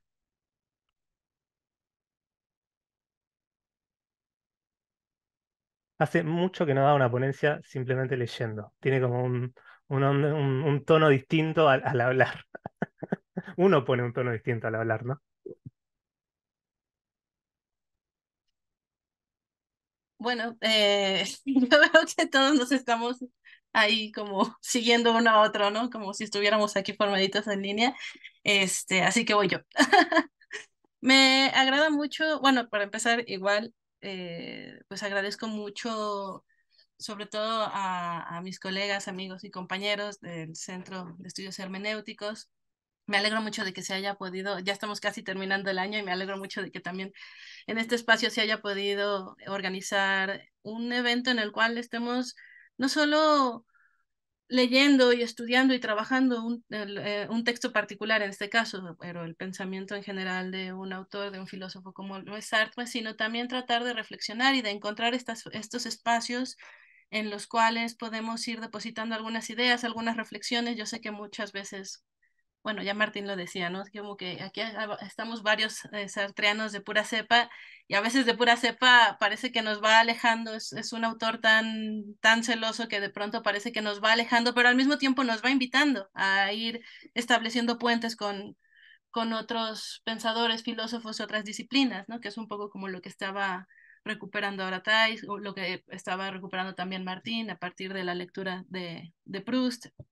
Entonces, yo debo confesar que últimamente, como hemos tenido encuentros muy recurrentes.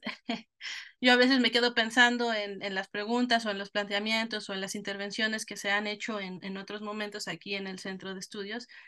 Eh, y bueno, pues de pronto me caen ideas y luego voy leyendo otras cosas y me, me van cayendo ideas. Eh, no sé si trato de jalar siempre agua para mi molino, pero siempre terminan derivando un poco en Sartre.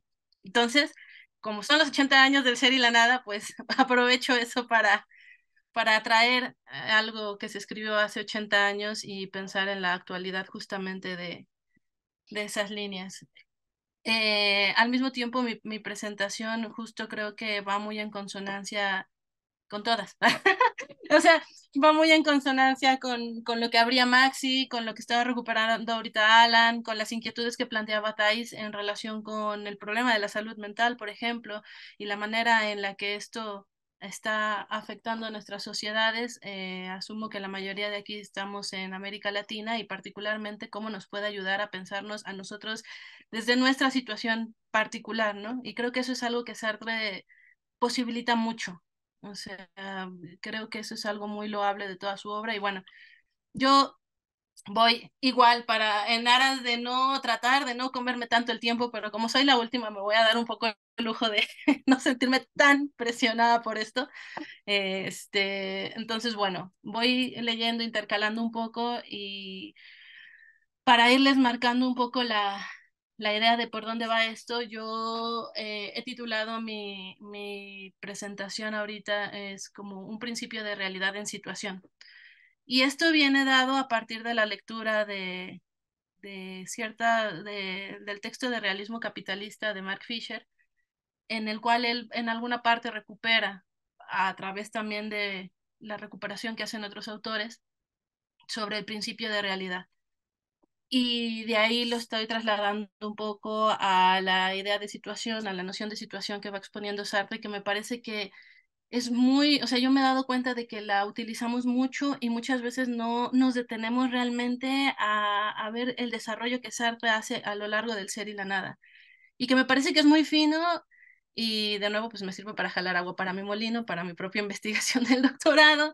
Entonces, bueno, pues voy, voy leyendo un poco, ¿no?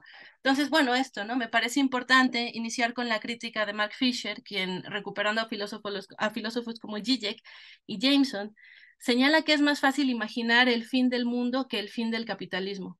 Y a mí esta afirmación me parece brutal, ¿no? O sea, pensemos, eh, por ejemplo, en todos los productos eh, cinematográficos, incluso la literatura de ficción que se suele escribir.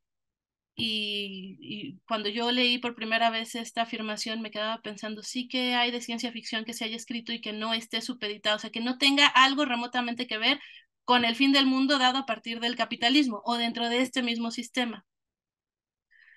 Eh, em, Luego, eh, en, esta, en esta línea es que Fisher denomina, bajo el nombre de realismo capitalista, jugando un poco con eh, realismo socialista, pero bueno, realismo capitalista, a la idea muy difundida, cito aquí a Fisher, a la idea muy difundida de que el capitalismo no solo es el único sistema económico viable, sino que es imposible incluso imaginarle una alternativa. Y de nuevo, a mí me parece que esto es brutal, ¿no? O sea, en términos muy concretos. Y precisamente sobre la posibilidad, y yo no estoy empleando obviamente este eh, vocablo de manera gratuita, es sobre lo que quisiera reflexionar un poco aquí, aprovechando que es una mesa de discusión, ¿no? Y no hay verdades absolutas ni ya plenamente dichas. Eh, no sería exagerado afirmar que el capitalismo ha sido capaz de desarrollar su propia vacuna. La inmunidad del sistema radica en esa vacuna denominada anticapitalismo, ampliamente difundida dentro del mismo sistema. Ejemplos de ello sobran, pero huelga decir que se encuentran sobre todo en aquellos productos de carácter cultural fácilmente consumidos por los individuos. Pero además, estos productos del capitalismo, productos culturales, aunque no exclusivamente, cumplen con una función de extensión. Después de todo, y aquí retomo esta idea también de Fisher, es, eh, exhiben nuestro anticapitalismo frente a nosotros mismos y nos permite seguir consumiendo con impunidad básicamente eh, podemos pensar, ¿no? Hay, hay una serie de, yo creo que cada país ha tenido sus propias formas de manifestación. Eh, por razones obvias y evidentes, pues el, las, vamos a decirlo así, estos productos que suelen ser que, provienen de Estados Unidos suelen ser los más llamativos, ¿no? O sea, serie de conciertos, de festivales, a este tipo de aspectos culturales me refiero en concreto porque creo que van eh, conteniendo mucho de esta producción, ¿no? Conciertos en los cuales se está tratando de juntar dinero o lo que sea por tratar de pelear por una causa justa, pero eso no es anticapitalista, eso le hace el juego dentro del mismo capitalismo, o en realidad no genera en concreto no va a generar una ruptura de este sistema ni está planteando la posibilidad de que haya un algo más. Incluso más bien parece que trata de mitigar, pero bueno, ahorita llegó a eso, ¿no? Eh, aunque es un concepto que habría que tomar con cuidado, podemos decir que la ideología capitalista se decanta más por ocultar que por convencer, y lo que oculta es el hecho de que las operaciones del capital no dependen de ningún tipo de creencia compartida, ¿no? O sea, subjetivamente compartida. Pensando en la ideología, es que filósofos como Zizek han querido rescatar este concepto y procurarle un lugar dentro de la reflexión filosófica, aunque no solamente ahí, por supuesto, para reconsiderar sus alcances o quizá podría decir para reconciliarse con ellos. En el caso de la ideología, sabemos que dentro de la filosofía ah, es, un tema delicado, ¿no? Para los que no son de México, Hoy en día hay una discusión brutal porque están considerando que los libros que reparte la Secretaría de Educación Pública a los niños de, escuela básica pues están llenos de ideología comunista. Y eso ha generado todo un acontecimiento aquí en México. Eh, en este tenor, Zizek nos dice que, y aquí lo cito, el nivel fundamental de la ideología, sin embargo, no es el de una ilusión que enmascare el estado real de las cosas, y esto me parece que es muy importante, ¿no? Porque así es como se suele vender la idea de ideología, sino el de una fantasía, aquí Zizek enfatiza, pues, inconsciente, que estructura nuestra propia realidad social. Vamos, que la ideología vendría a ocupar el lugar de una fantasía estructurante, y me parece muy interesante porque la etimología misma de la palabra fantasía nos va llevando precisamente a esta idea, ¿no? O sea, eh, nos, la podemos vincular incluso con la cuestión de la imaginación. ¿Cuál es la función de la imaginación, por ejemplo? Probablemente la de posibilitar una estructura en relación con la, con la realidad concebida, ¿no? Eh, el capitalismo, como ya lo ha demostrado, no solo es inmune al repudio, sino que se alimenta y depende de él creando dentro de sí mismo incluso estas formas de, repulsión, ¿no? De rechazo por parte de los mismos sujetos. Para fetichizar el dinero es necesario tomar una distancia irónica con respecto a él. Este anticapitalismo de corte corporativo con el que convivimos día a día, y no solo eso, sino que nos atraviesa, obviamente, no se dirige tanto a erradicarse a sí mismo, sino a supuestamente mitigar sus excesos, ¿no? Se habla en todo caso de prácticas más éticas dentro del sistema capitalista, lo cual en sí mismo pues también resulta una suerte de oxímoron, porque dicho sistema depende de la explotación y no parece que haya condiciones de explotación éticas. O bueno, no sé si alguien, espero que no, que nadie me salga con la sorpresa aquí, pero no hay condiciones de explotación éticas. O sea, la explotación, ¿bajo qué circunstancias, o sea, bajo qué circunstancias podría ser considerado como tal, no? Las protestas anticapitalistas, tal y como se presentan hoy en día dentro de este mismo sistema y en consonancia con este mismo sistema y alimentadas por este mismo sistema, por no decir en pleno marketing de este sistema, no parecen ser más que un mero ruido de fondo que, y de nuevo, tengamos esto muy presente para más adelante, invita a arrojarnos hacia la inmediata y velos eh, eh, hacia la inmediatez, perdón, y la velocidad para actuar en situaciones concretas, alejándonos así de verdaderos procesos de autoorganización donde se comprenda que estamos ante un problema estructural. Hoy en día, buena parte de estas propuestas exigen a los políticos que legislen, que cumplan con su trabajo, se suele decir, que, que introduzcan y detenten una ley.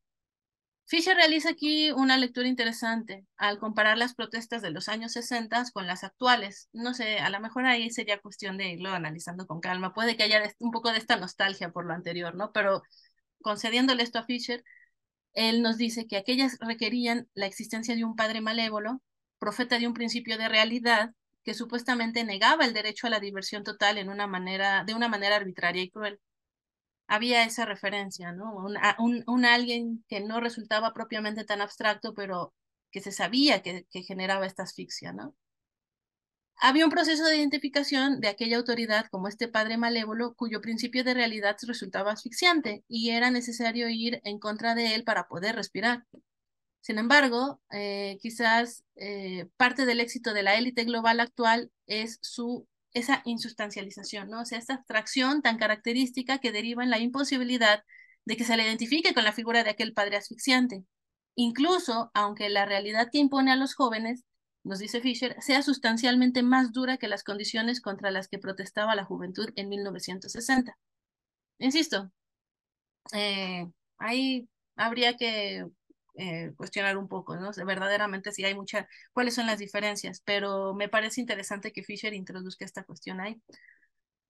Por todo lo anterior, la apuesta de Fisher, y que en cierto modo no me parece tan alejado del pensamiento del filósofo que nos convoca aquí el día de hoy, es la de aceptar nuestra inserción en el nivel del deseo. Esto con miras a generar una acción política resulta fundamental. Es decir, por una parte, que precisamente esa vacuna anticapitalista del realismo capitalista nos insta a expresar un repudio que poco menos que logra lavar nuestras culpas, pero que no puede ir más allá, el ir más allá, en, principio, en primer momento, es ubicar los modos en los que nuestro deseo nos puede colocar en una situación de complicidad en las redes planetarias de la opresión. Y Fisher nos recuerda, lo que debemos tener en mente es tanto que el capitalismo es una estructura impersonal, hiperabstracta, como que no sería nada sin nuestra cooperación. Pensar en cómo romper con esa complicidad ya es algo que me parece propio de un segundo momento, no indagaré aquí más al respecto, ¿no? O sea, me parece que aquí más bien eh, es como un primer momento de reconocimiento, ¿no? Hay aquí algo así como esa mala fe del capitalismo, ¿no? Sí, por muy tautológico que esto pueda sonar en el que, de cierto sentido, el servicio que nosotros obtenemos de esta élite política radica en lavarnos, la, aquí cito textual a, Fisher porque me parece muy interesante la expresión, lavarnos la libido de modo sumiso, representar los deseos de los que no nos hacemos cargo, como si no tuviera nada que ver con nosotros. Y es que en estas nuevas condiciones en las que vivimos, por ahí se va introduciendo esa mala fe. Asimismo, este sistema ha generado las condiciones perfectas para efectuar cada que lo considera necesario una suerte de chantaje ideológico que insiste en que es no solo posibilidad, sino un deber el que los individuos eh, solucionen problemas que de hecho son estructurales y que de hecho necesitarían de una solución política o de reorganización sistémica. Con este tipo de chantajes, lo que termina por, por ocurrir es que en vez de que nuestra acción efectivamente se dirija hacia la discusión política, es más deseable actuar de una vez esto en pos de una supuesta inmediatez ética. Esa es como la velocidad que también me parece importante ir criticando, ¿no? Eh, se habla mucho de, desde la perspectiva del aceleracionismo, del desaceleracionismo, ¿no? Eh, sobre esta velocidad en los procesos. Pero como si de pronto la izquierda o el pensamiento de izquierda quedara como un poco blindado de esto, ¿no? Sin darse cuenta de que efectivamente por muy buenas intenciones que pueda haber, conducidas quién sabe por qué, pero siempre hay una necesidad como del aquí y el ahora, ¿no? Me quedo pensando un poco en la tesis 11 sobre Feuerbach, ahí donde justamente parece que hay una crítica en relación con, pues ya, ¿no? Basta de estar interpretando el mundo, el, el tema es este, transformarlo. Sí, pero ¿cómo, no? ¿A partir de qué? no en vano existen todos los chorromil tomos del capital, nada más por poner un primer ejemplo, ¿no? Estas soluciones inmediatas claramente no buscan un ataque de fondo hacia el capitalismo, porque no pueden dejar de pensar en que fuera de este no hay otra cosa. Asimismo, las soluciones inmediatas son más atractivas porque implican una imposibilidad de postergar la satisfacción. O bueno, no hay necesidad de. Pero el gran problema con estas soluciones y visión es que la realidad es comprendida como inmutable y que poco o nada vale la autoorganización para tratar de hacer frente a los problemas sistémicos que implica el capitalismo. En el fondo, este tipo de políticas son políticas del aislamiento, porque también eh, no solo van responsabilizando a los sujetos concretos, no solo van generando como ciertas, eh, ante problemas estructurales se responsabiliza a los sujetos que se encuentran dentro de esas desigualdades estructurales, sino que al mismo tiempo van generando, van, van impidiendo estos ambientes de reflexión, de discusión, de compartir, ¿no? De pensar otras formas que no, que no estén regidas por un sistema tan que, que, que, que está tomando en el centro de todo al individuo, como lo recuperaba también este Maxi. Precisamente por ello, un primer momento y un ataque serio hacia el realismo capitalista es aquel que logra exhibirlo como incoherente o indefendible. En otras palabras, cito a Fisher, si el ostensible realismo del capitalismo muestra ser todo lo contrario de lo que dice. Esto implica no perder de vista que aquello denominado realista no son sino una serie de determinaciones políticas que, para ser verdaderamente exitosas o creíbles, tendrán que ser naturalizadas. Por eso mismo las críticas y reflexiones en torno a todo orden natural cobran relevancia, aunque parezca un juego socio en ocasiones, ¿no? ¿Qué hay más allá de señalar que todo responde a una construcción social, por ejemplo? Eso es lo que no ha quedado muy claro. Y aquí nuevamente resuenan las palabras de Sartre en este planteamiento de Fischer.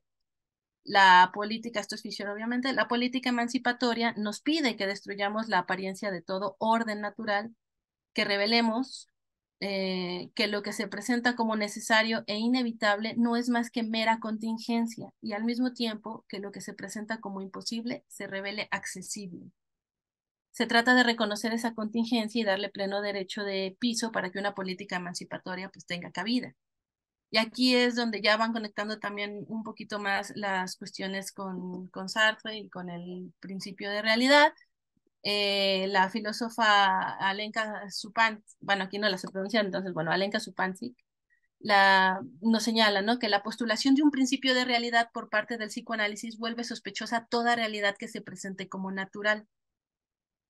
Eh, en realidad Freud pues postula este principio como contraparte del principio del placer. En efecto, sería importante reconocer que la objetividad de la realidad que Freud atribuye a dicho principio no se escapa de una mediación ideológica. Incluso podría considerarse como el sustento de la ideología al pretender presentar los hechos como puro hecho empírico, o biológico, económico, científico, que es como el, el lugar de legitimación favorito, ¿no? Que convenientemente tendemos a percibir como pura necesidad, no ideológica. Es decir, eh, las políticas de despolitización, bueno, esta forma de proceder de, de, ir despolitizando la realidad son muy convenientes porque ante la, el no reconocimiento también de del, del, acto, de la acción, de los intereses de algunas personas en, en, la realidad, termina generándonos esta fantasía de que son órdenes dados y naturales y que por lo tanto no hay cabida para poder modificarlos por ningún lado, ¿no? Eh, aquí me interesa mucho resaltar que también el principio de realidad es importante dentro de la teoría psicoanalítica por lo siguiente, ¿no? O sea, el funcionamiento de este principio de realidad en el fondo es lo que nos va trayendo un poco hacia la cuestión del realismo capitalista que menciona Fischer. Pero cuando Freud lo postula, está, eh, eh, postula este principio a la par del principio del placer, que también es algo que hace rato yo recuperaba un poco de Fischer, ¿no? Y que son fundamentales para el funcionamiento psíquico. Es el principio de realidad quien modifica el principio del placer. Y en la medida en la que se coloca como un principio regulador entre el sujeto psíquico y el mundo, la búsqueda de la satisfacción demandada por el principio de placer se ve afectada. Esa búsqueda de satisfacción ya no se efectúa por los caminos más cortos, que es lo característico del principio del placer, sino que, reconociendo las condiciones impuestas por el mundo exterior, se posterga y toma otros caminos para finalmente alcanzar su fin. Eh, Aquí me parece interesante una cita que encontraba justamente de La Planche. Dice, lo que el psicoanálisis entiende por acceso a la realidad no puede reducirse a la idea de un poder de discriminación entre lo real y lo irreal. Creo que ahí también ya vamos, ¿no? O sea, la alternativa que plantea en contra de esta fantasía del orden natural es la de la politización de aquellos órdenes en apariencia normales, que va también en línea de lo que mencionaba Thais en algún momento, ¿no? O sea, ¿por qué se ha vuelto incluso algo tan normal el decir, pues sí, la gente tiene ansiedad o la gente vive con depresión, ¿no? El ejemplo que recupera Mark Fisher en el caso de, de Reino Unido es el de la depresión, o sea, ¿por qué se está diagnosticando a los jóvenes con depresión, pero además se está viviendo como que es un estado de cosas que así es? Y sí, se le puede atribuir a la manera en la que funciona este sistema, pero no hay un más allá, ¿no? O sea, pareciera como si en ese, ahí se encontrara el tope, ¿no? Pues así son las cosas, porque más allá de este sistema no puede existir nada más. Em, bueno, y aquí ya voy conectando para ir concluyendo un poco con esto, eh, con, con, lo que me interesaba recuperar precisamente de la, la idea de situación, ¿no? Eh, es así como Fisher junto con otros reconocen la necesidad de cuestionar todo posible orden natural sugerido por un principio de realidad. Ese principio de realidad es super, para mí, parece, o sea, a mi parecer, superado con creces eh, por la noción de situación que nos presenta Sartre en el ser y la nada.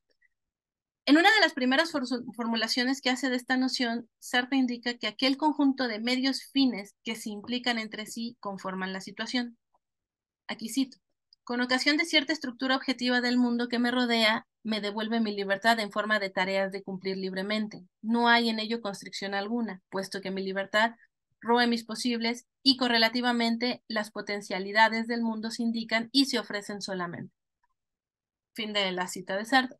Eh, por cierto, nos parece bueno, me parece relevante señalar cómo esta, cómo esta primera enunciación ocurre en el marco de la tercera parte del ser y la nada, eh, para los que no tengan tan ubicados el, ser y la nada, esa es la parte en la que Sartre habla sobre el ser para otro. O sea, la primera enunciación, como ya con todas sus letras de la situación, la introduce Sartre ahí y no creo que no es casual, ¿no? Porque más adelante, en la cuarta parte, donde justamente eh, va a continuar con, con, con la idea de situación, o sea, donde ya le va a dar un desarrollo más a profundidad, él nos dice, ¿no? Que mi sitio, mi cuerpo, mi pasado, mi posición, en tanto que determinada por las indicaciones de los otros y mi relación fundamental con el prójimo, constituyen, o sea, son las diferentes estructuras de la situación. O sea, cuando uno habla de situación en Sartre, tiene que tomar en cuenta todo esto, el sitio, mi cuerpo, mi pasado, mi posición y la manera en la que están mediadas de alguna u otra forma o atravesado partir ahí por la relación fundamental que tengo con el prójimo y con el otro, con los otros, ¿no? Eh, eh, un segundo para no ser reiterativa. Aquí voy a recuperar un poquito más de la cuestión de la situación para cerrar ya. Eh, en esta misma cuarta parte señala, ¿no? La libertad, que la libertad se posibilita, esto, esto, es mío, no es cita de Sartre.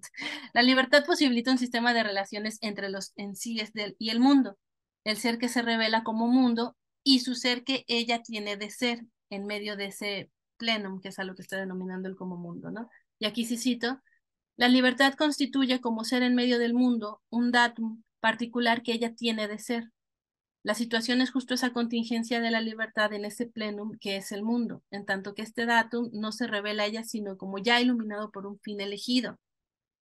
Este datum, esto fin de la cita, este datum no aparece en bruto, se descubre siempre como motivo, lo que significa que se revela únicamente a la luz del fin que lo ilumina. Sartre aquí establece esta relación que a mí me parece súper interesante y que conecta mucho también con la idea del psicoanálisis existencial, o sea, ahí ya va cobrando sentido, porque situación y, motivación se identifican para él. El para sí se descubre como comprometido en el ser y amenazado por el ser descubre el estado de cosas que lo rodea como motivo para una reacción de defensa o de ataque. Pero solo puede efectuar este descubrimiento porque pone libremente el fin con respecto al cual el estado de cosas es amenazador o favorable.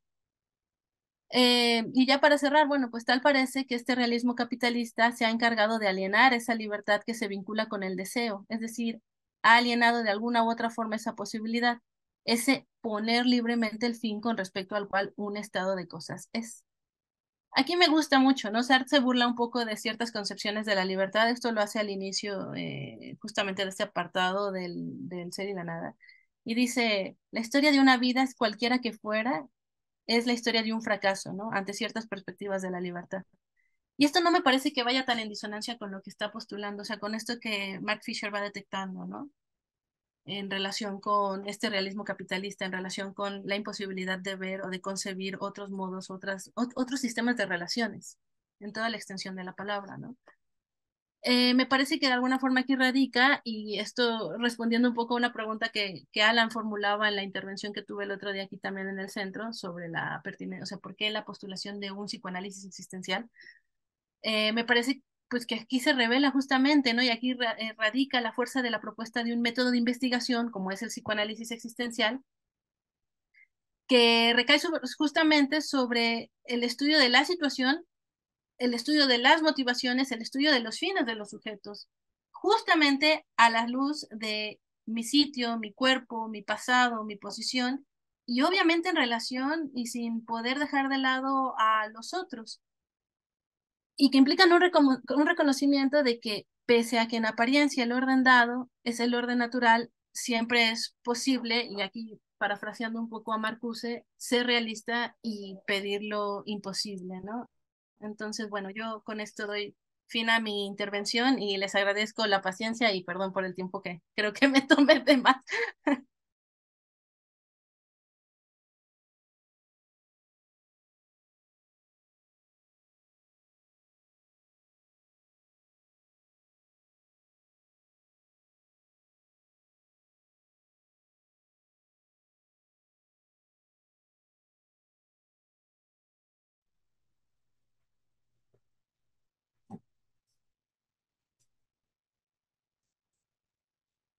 No sé, yo voy a romper el silencio sepulcral porque fui la última, pero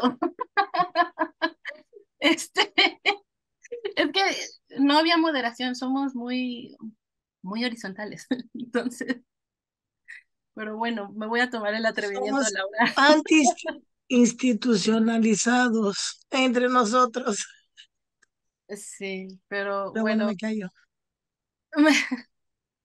no sé si Laura quiere aquí eh, mencionar. No, si, quiere alguien, bueno, agradecerles una vez más y si alguien de, del público, por decirlo de alguna manera, eh, quiere preguntar algo, como decimos siempre, comentar o agregar, eh, tenemos un ratito todavía para poder dar lugar a esas intervenciones.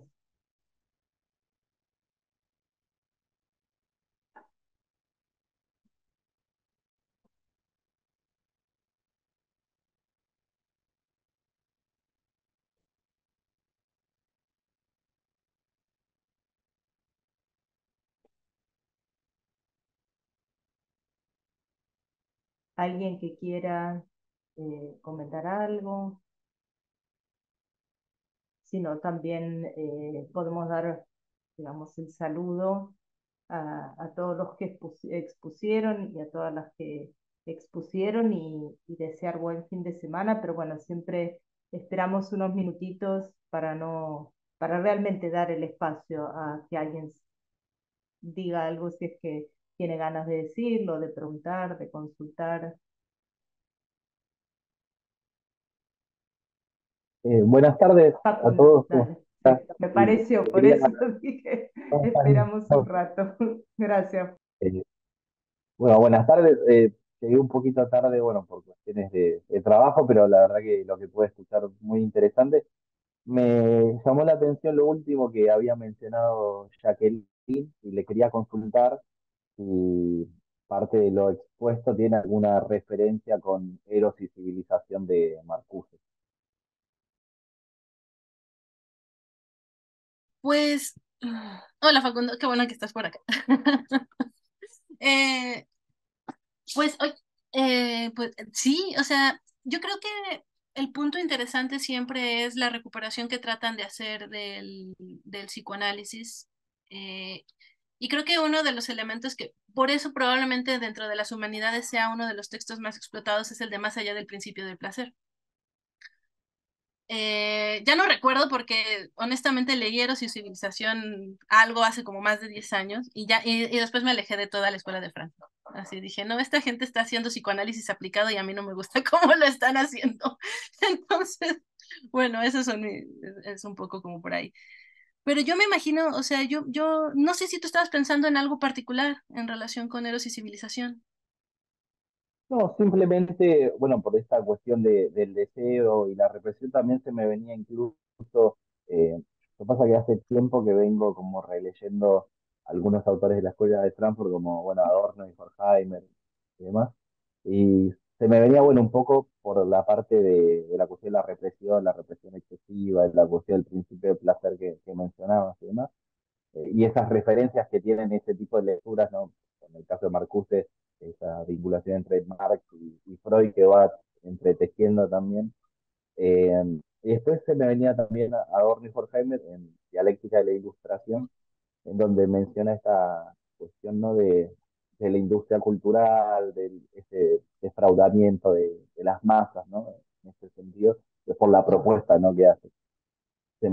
Simplemente me sonó cuando, cuando estaba escuchando la última parte, pero solamente por eso.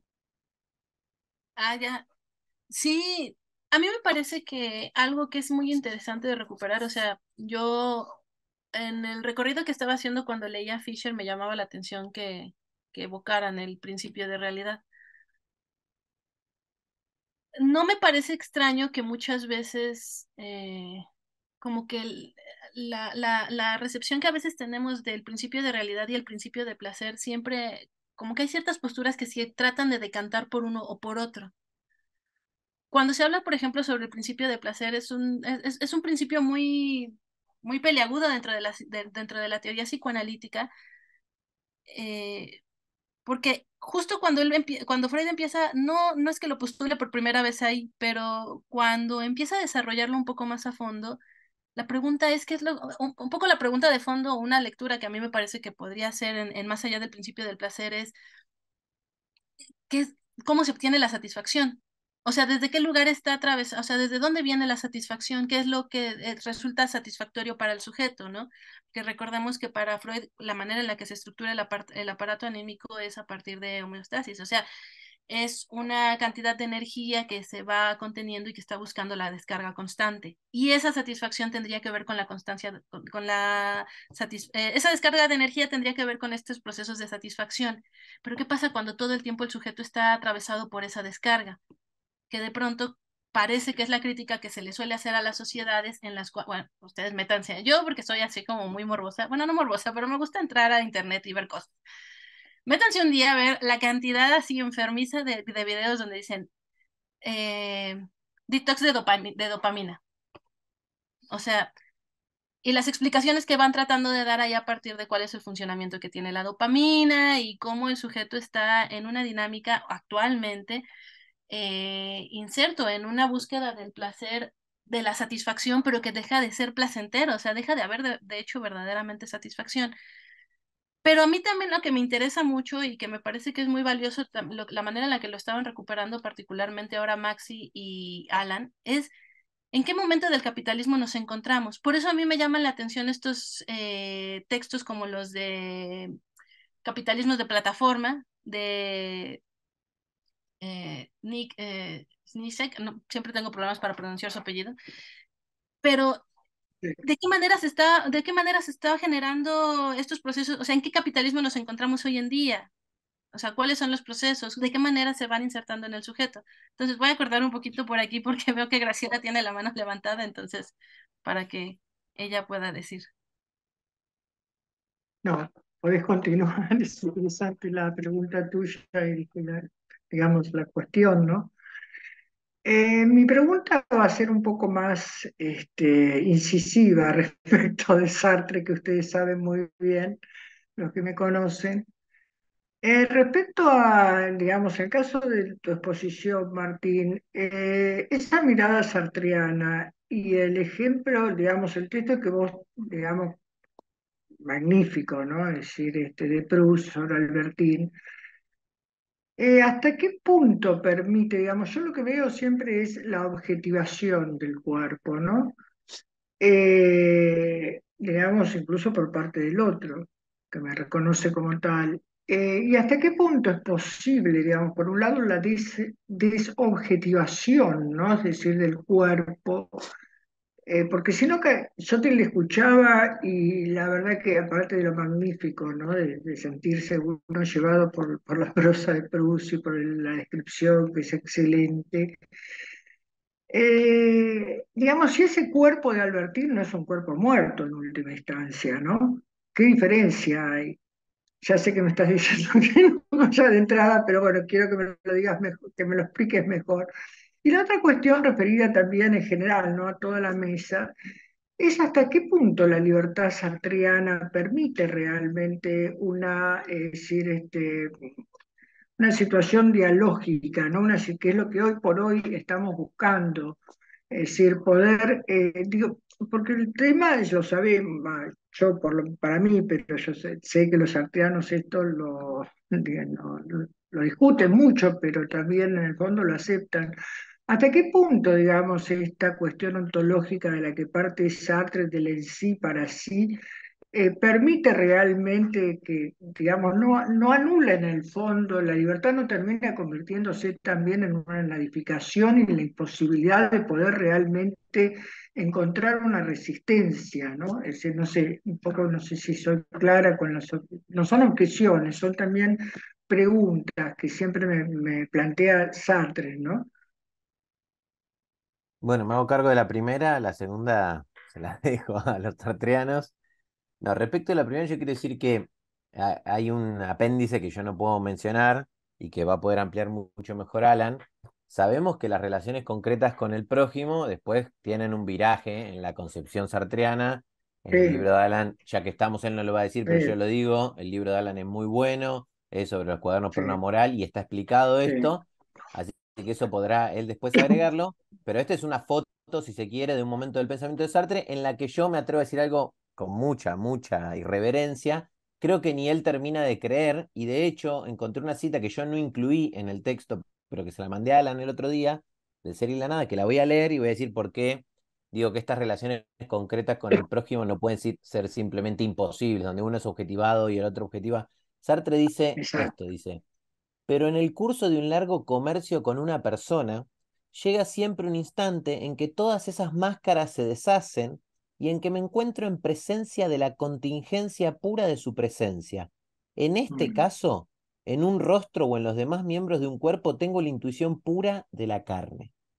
A mí yo leí esa cita, se la mandé a Alan, y yo decía, bueno, evidentemente Sartre en un lado vislumbra que hay una posibilidad real de encuentro con el otro. Y yo lo que le decía a Alan en chiste decía, o no sé si lo posté, dije, bueno, si cuando vos ves a una persona así, desechas todas sus máscaras, la elegís es que la más realmente, digamos, la ves en su carne, digamos, en su autenticidad, si se quiere. Y entonces me parece que lo que pasa, yo lo ilustré con el ejemplo de Proust, porque en verdad lo que le pasa al narrador es que nunca puede amar, si se quiere, entre comillas, lo voy a poner sanamente a Albertín, nunca. Porque la ama cuando la posee, la tiene encerrada y la objetiva, ese, ese amor vivido como posesión se ve frustrado porque le aburre. Después cuando la tiene lejos, eh, eh, bueno, la desean otros y entonces ahí sí la ama, pero no la tiene. Y después cuando se muere, cuando es una fugitiva, pierde interés. ¿no? sí, pero vos sabés, perdona, este, Martín, vos sabés muy bien que por lo que describe Merleau-Ponty al respecto, es una vía negativa del amor, ¿no? Claro. Eh, amaba una idea, dice él. Después terminaba, yo lo que terminé amando, dice el narrador, es una idea. Entonces, a lo que, con lo que quiero, lo que quiero decir respecto a esto es, me parece que lo que Proust ilustra y lo que si se quiere ese Sartre tal vez ilustra son ciertas relaciones con el otro que son infernales porque son negativas, por decirlo de una manera muy amplia, ¿no? Pero no, por, lo que diga negativa, sino negativa, ¿no? Claro, pero se podría establecer con los otros, y acá si ya me callo, si Alan quiere ampliar, relaciones que no sean de ese cariz negativo, al contrario, que sean auténticas, humanas, si se las quiere calificar de alguna manera, y que sean positivas. Y en ese sentido me parece que tiene que ver esto, ¿no? Cuando uno ve al otro sin máscaras y en su libertad lo elige, bueno, tal vez ahí haya algo de positivo, pero así le digo como muy ampliamente. Eso es lo que nunca, nunca puede hacer el narrador. Nunca lo puede hacer. O sea, elegir al otro en ese sentido. Siempre está enamorado de una objetivación que él hizo del otro y nunca del otro si es que se muestra su autenticidad. Em, bueno, no quiero seguir. Sigue, Alan, no, no quiero. Eh, no, agrego unas pocas cosas porque lo que dijo Martín está todo correcto. Eh, a ver, el caso del ser y la nada, bueno, también hay que reconocer sus limitaciones y yo creo, Graciela, que tenés toda la razón del mundo cuando eh, uno ve, ya sea en las relaciones intersubjetivas, como el conflicto aparece insuperable o en la captación del otro eh, como em, la objetivación parece ser la, única vía de, aprehensión. Realmente hay que leer entre líneas y hay que hacer una lectura retrospectiva con las obras que vienen después para eh, ver en el ser y la nada eh, otras vías donde la relación no es de conflicto, sino de cooperación, donde aparece el amor como un cuidado del otro y un vivir en seguridad en el seno de la libertad del otro, donde la libertad deja de ser individual para ser colectiva eh, y no, no se puede vivir libremente en una sociedad injusta eh, y hay una mistificación tanto del opresor y del oprimido, y ni que hablar bueno, del viraje marxista que, tiene en los años 50. Em, pero es difícil ver, no sé, la, la visión comunitaria, colectiva, incluso uno puede decir políticamente socialista, en el ser y la nada. ¿no? Eh, eh, es, es, bastante extraño porque en ese momento Sartre a nivel personal ya tenía un compromiso con em, bueno, la resistencia francesa y, con, y ya, y creo que uno siempre, yo siempre digo, hay que reconocer el intercambio con Merleau-Ponty, eh, no, no, solamente a nivel filosófico, sino a nivel político, porque es el que le, le, le, lo, introduce en la escena política eh, y lo saca de, de esa descripción eh, meramente ontológica de la libertad. ¿No? O sea, el libro Humanismo y Terror y bueno, los intercambios en, en, la editorial de los tiempos modernos es donde entiende, ah, bueno, esta descripción que hice es completamente etérea porque faltan las condiciones concretas de existencia, ¿no? no son dos libertades que se juntan. Son un obrero con otro obrero, un empresario con otro empresario, una mujer con un hombre, un colono con un colonizado. Eh, es, todo esto lo que falta. Mira, yo siempre, perdona, Alan, pero sería una lectura que tendríamos que hacer juntos. Eh, Maxi la conoce también bien. En las aventuras de la dialéctica hay dos párrafos, ¿no? Viste este capítulo, las aventuras de la dialéctica realmente es un libro dedicado a Sartre, porque casi todo el libro, digamos, el capítulo quinto es decir, que es el más largo, es Sartre puro, ¿no? Y toda la, refutación. Pero hay, tres cuestiones que a mí siempre me llaman la atención y que tendrían que ver entonces con, con toda esta problemática, que son el tema de la acción, el tema del compromiso y, por supuesto, el tema de la libertad. Porque a partir del tema de la libertad, vos tenés, digamos, es decir, evidentemente, bueno, hasta dónde te preguntar, ¿no? Es decir, qué acción es posible, y, qué y sobre todo qué compromiso, porque me parece que a mí tu exposición me pareció excelente, estoy totalmente de acuerdo, pero habría que ver un poco, eh, quizás, no digo que si yo tampoco sabría cómo, ¿no? pero por lo menos ver esta cuestión del compromiso, ¿no? Es decir, porque quizás lo que nos ha pasado eh, todo este tiempo, esta politización, digamos, de los jóvenes tiene que ver con esta cuestión de, la falta de compromiso, ¿no? Es porque probablemente, bueno, no sé, no quiero decir porque no haya en qué creer, sino, pero, pero es llamativo, es, a mí me llama mucho la atención y la verdad que te felicito, me, estoy totalmente de acuerdo con lo que vos planteabas, ¿no? Pero creo que habría que ver un poquito esos temas, reforzar. Sí, tal cual, ¿no? Sobre todo esa visión individualista donde, eh, a ver, cada uno busca su propio provecho. Sobre todo eh, eso. Y el otro, bueno, termina siendo un medio, entonces que caemos en la pura objetivación del cuerpo ajeno. Y una ideología que intenta justificar moralmente para llegar a una conciencia tranquila eh, ese tipo de acción, ¿no? Está bien porque vos lo haces, el otro lo hace a su vez, eh, y además eso genera un beneficio social y económico, ¿no? Maximiza las ganancias, la producción, etc.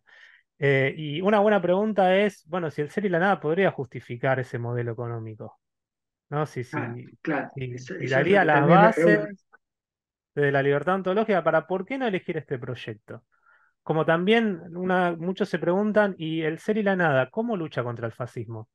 Si nosotros sabemos por la eh, coyuntura histórica en que se escribe y sale que es en contra del fascismo, en el contexto de la Segunda Guerra Mundial, ¿qué partes del, ser y la nada avalan una política socialista, antifascista? Y es muy, y es muy difícil, ¿no? Así como otros dicen, bueno, en Ser y Tiempo de Heidegger, ¿dónde está la apología a el, el, nazismo, ¿no? el fascismo alemán, el Partido Socialdemócrata, em, el social nacionalista. Eh, ese es un trabajo interesante para hacer em, y creo que ahí hay un esfuerzo de, leer entre líneas y eh, hacer una interpretación eh, con otros escritos, con otras intervenciones, trayendo a colación al, al autor, digamos, como, como sujeto, ¿no? Con, con, su, sus proyectos. Y sobre todo dar a conocer quizás en las cátedras ahora, porque digamos, tu trabajo es excelente, Cuadernos de Moral, y donde justamente es, es, claro que hay otra mirada, que quizás es una mirada más desde la ética, ¿no? De la ética o desde la moral, pero ese Sartre es el que quizá eh, puede, eh, justamente, que los jóvenes no conocen, en el que no se enseña, que no ha llegado todavía a oficializarse, y quizá por ahí habría que ver un poco, ¿no? Es decir, este, empezar otra. Creo que da más, porque da más elementos, me parece, no sé. Es el, es el que necesitamos, sí, sí, da más, elementos, ¿no? Es el que nos puede ayudar ahora a pensar un escenario futuro mejor. Sí, claro, claro, claro, claro, lógico, porque yo te escuchaba y pensaba, digamos, estamos todos muertos, ¿no? Si, si esto avanza. Sí, sí, sí, sí, sí. Es, es una señal de, alerta, ¿no? Esta, esta reducción del- de, la idea de libertad. Ah, gracias, excelente las exposiciones. Gracias a ah. todos.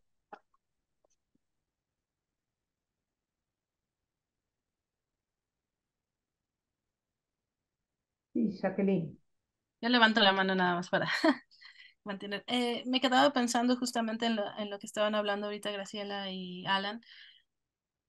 Y como sobre muchas de estas críticas que se le suelen hacer al, al texto, como tal, a, a, Sartre hasta cierto punto, ¿no? Como si tuviera una deuda pendiente con, con sus lectores. Eh, y me quedaba pensando un poco en, en, el, en el alcance que puede llegar a tener el ser y la nada y esto que señalaba Graciela en relación a cómo se enseña Sartre. Bueno, aquí en México directamente no se enseña, entonces, eh, que ya por ahí ya va marcando ciertas cosas, ¿no?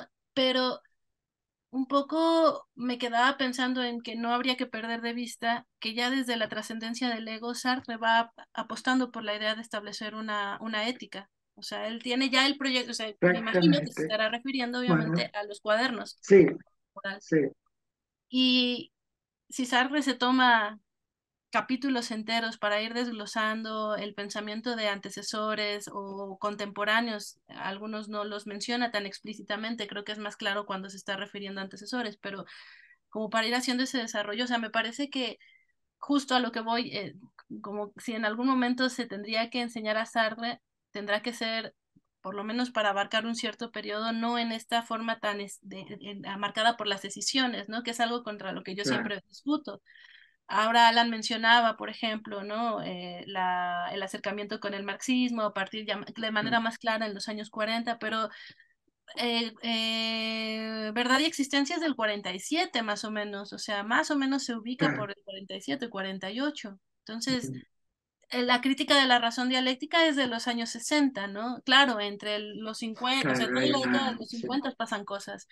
Pero a lo que voy con esto es que creo que justamente en varias ocasiones cuando, al menos a mí me pasa, ¿no? Cuando voy leyendo el ser y la nada, siento como que Sartre está diciendo todo el tiempo, ojo, porque esto no, no se queda nada más aquí. O sea, esto es el fundamento de la moral o de la ética que yo voy a tratar, de este proyecto ético que yo tengo ya cercano, ¿no? Y lo mismo, cuadernos para, para, una moral mm, están, bueno, pues van en, en, en, esta misma línea de los años 40. O sea, no están tan alejados. También habrá que, que, que, o sea, uno entiende hasta cierto punto por qué los cuadernos para una moral no se publican en vida de Sartre, ¿no? Algo del proyecto no le resulta satisfactorio. Algo de ahí, o sea, pero sí publica el ser y la nada, sí deja todas estas, esto, todo este sostén ontológico que ya va haciendo como pequeños coqueteos, efectivamente, ¿no? Como lo señalaba también Alan. Me parece que es importante el contexto en el cual el autor está escribiendo la obra y para nosotros puede ser muy sencillo a lo mejor pronto pensar en ¿Por, qué no habló de manera más franca sobre ciertos acontecimientos que en ese momento le estaban atravesando? Porque probablemente no hubiera podido vivir para decir más cosas. No lo sabemos, ¿no? O sea, la situación obviamente eh, era muy delicada y sin embargo creo que entre líneas y no tan entre líneas, el proyecto, un proyecto de acción, un proyecto político, un proyecto ético por parte de... Pero justamente, eh, Jacqueline, eh, la libertad es, digamos, es decir, libertad situada, ¿no? Y entonces quizá esa, ese aspecto es lo que, eh, digamos, que sigue creando, bueno, también dos cosas diferentes, ¿no? Primero, una me parece excelente tu respuesta, cómo hay que leer a Sartre ya desde la, digamos, el ego, la, la trascendencia del ego, este, que ya prepara eh, los cuadernos de moral, pero fundamentalmente, esto por un lado, estoy totalmente de acuerdo. Y por el otro lado, esto que te decía, ¿no? Es decir, de una libertad situada.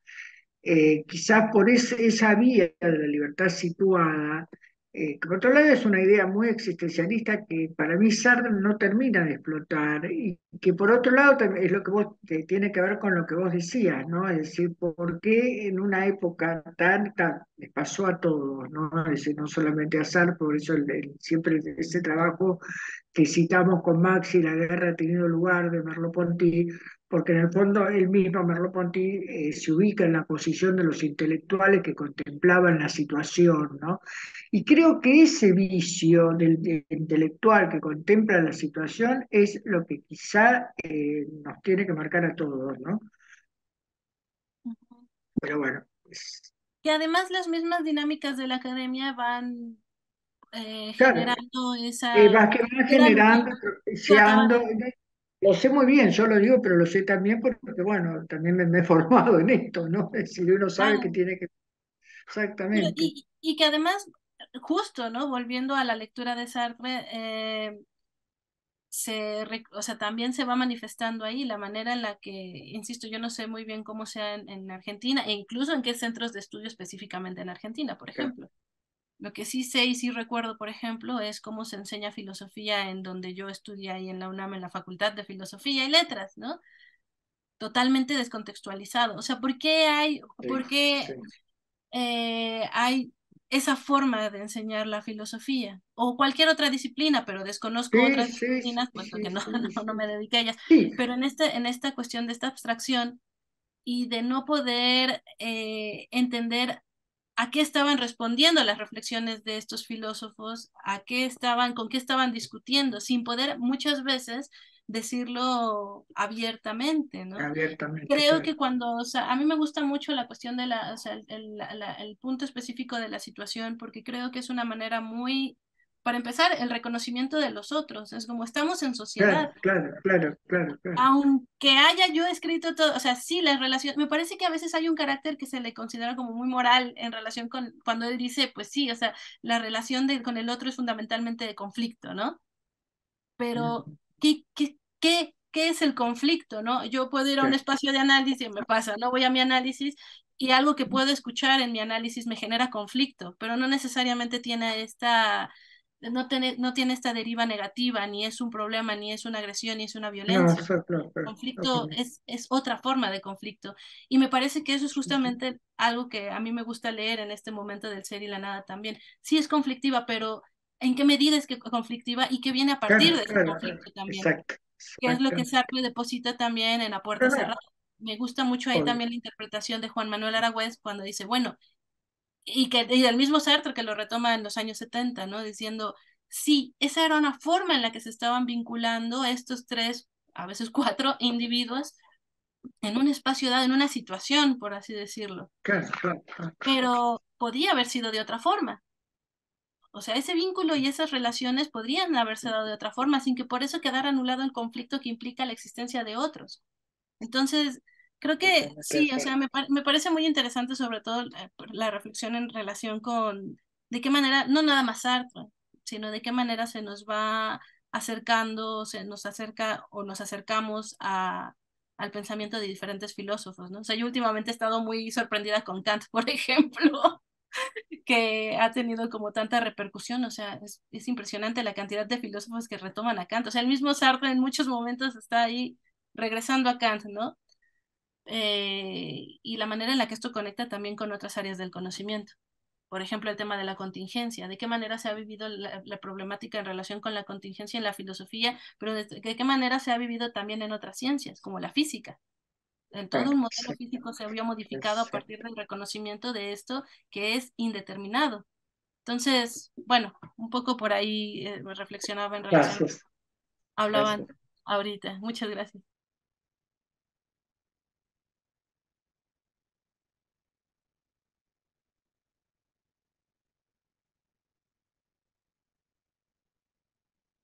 Sí, Carlos.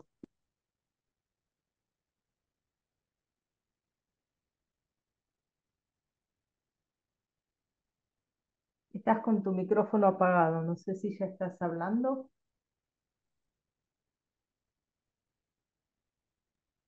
Eh, muchas gracias por la exposición. Este, trato de seguir estos cursos, no soy del palo de la filosofía, más bien de las ciencias más duras, pero tenía dos, dos cosas que, que a mí me, me producen extrañeza. Una que estaba viendo es primero, los cuerpos aparentemente escapan a la participación política ahora. Es algo bastante extraño, digamos, ¿no? Eh, como cuerpos, haciendo referencia a lo que decía el doctor Buceta sobre esa observación de ese, eh, a la búsqueda del tiempo perdido, creo, de Proust, ¿no? Esas, este, observación del cuerpo, objetivación del cuerpo. Y segundo, otra cosa que les pregunto, digamos, analizando, digamos, ahora estaba leyendo algunos libros de cultura y todo lo demás, me parece que esta Herrschaftsgebilde, estas formaciones de dominio, las formaciones de dominio son permanentes, eh, aparentemente desde los albores de la humanidad hasta hoy. Y me, me, cuestiono eso, digamos, como, de un punto de vista de ingeniería, digamos, como las constantes que hay de, de masa, las constantes de Newton, y todos que se reproducen y son, digamos, los galones que uno tiene para referenciar este tipo de, de ciencias más duras.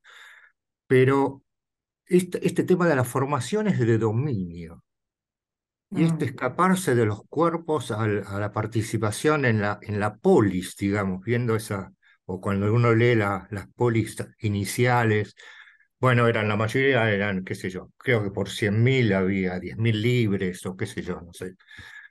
Eh, pero participaban más los libros. Ahora, también como la democracia sería algo de la participación, no, no puede ser totalmente participativa, pero ese escape de los cuerpos, quizás es por las represiones que ha habido de todo tipo, y este tema de las formaciones de dominio son cosas que me recontra preocupan. ¿Me pueden aportar algo?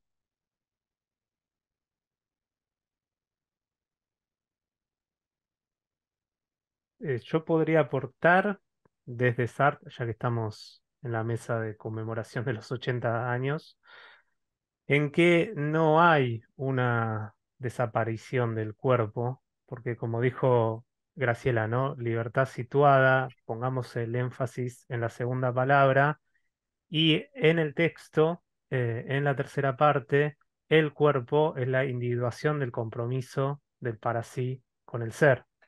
¿no? Y, el, y, el para sí es íntegramente conciencia, es íntegramente cuerpo. El cuerpo es la facticidad del para sí, es la textura de la conciencia.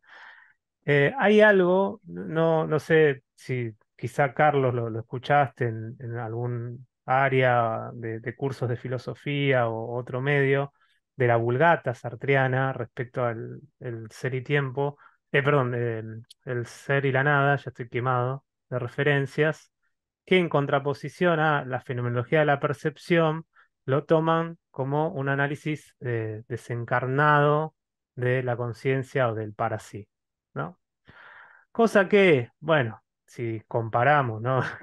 el, espacio que ocupa el cuerpo en la fenomenología de la percepción y el que ocupa en el ser y la nada, hay bastantes motivos y que el cuerpo aparece en la tercera parte recién, para entenderlo, pero en la tercera parte del ser y la nada, el cuerpo, uff, que cómo pasa a primer plano, y ni que hablar en la ética de Sartriana, ¿no?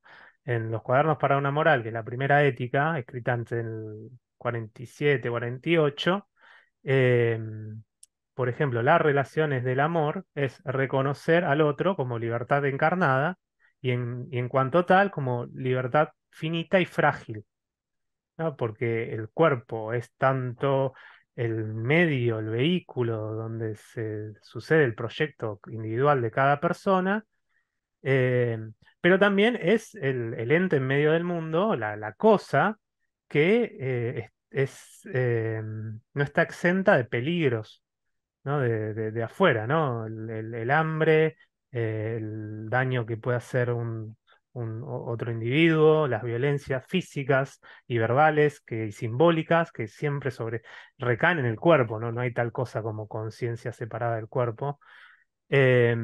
Y la ética sartreana apuesta a reconocer esa libertad encarnada eh, y a preservarla, ¿no? ¿Por qué? Porque la libertad es el valor em, principal que la axiología sartreana propone.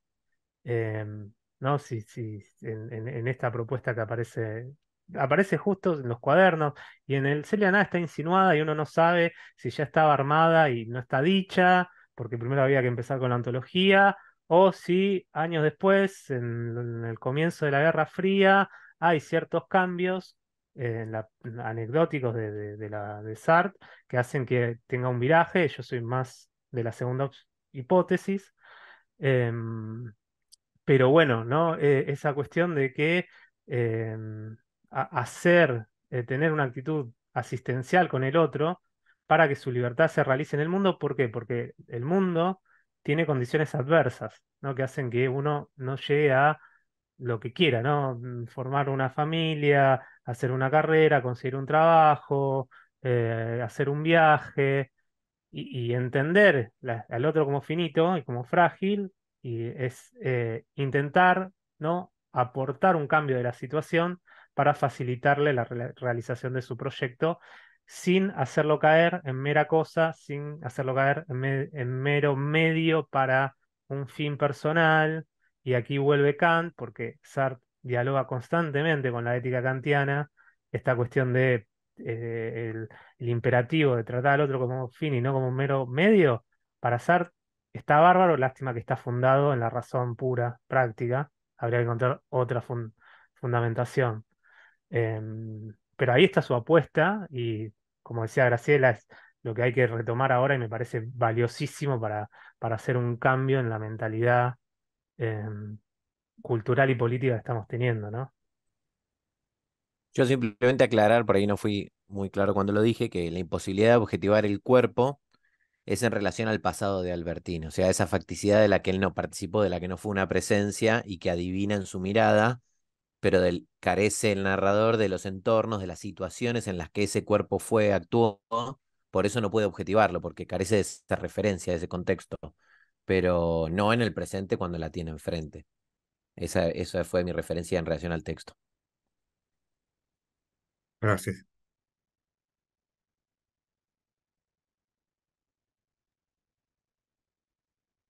Sí, eh, Rafael, sí, Rafael. Sí, bueno, buenas, buenas tardes desde México.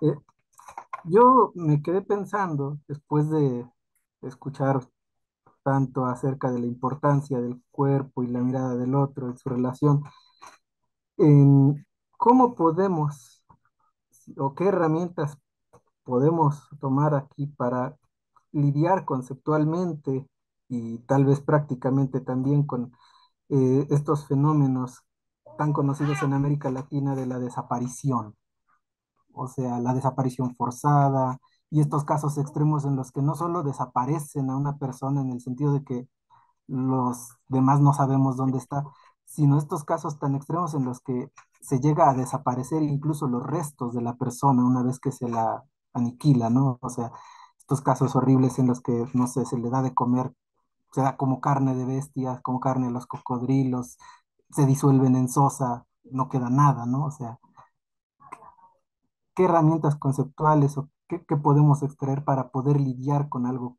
con un fenómeno tan, tan crudo, tan brutal como este?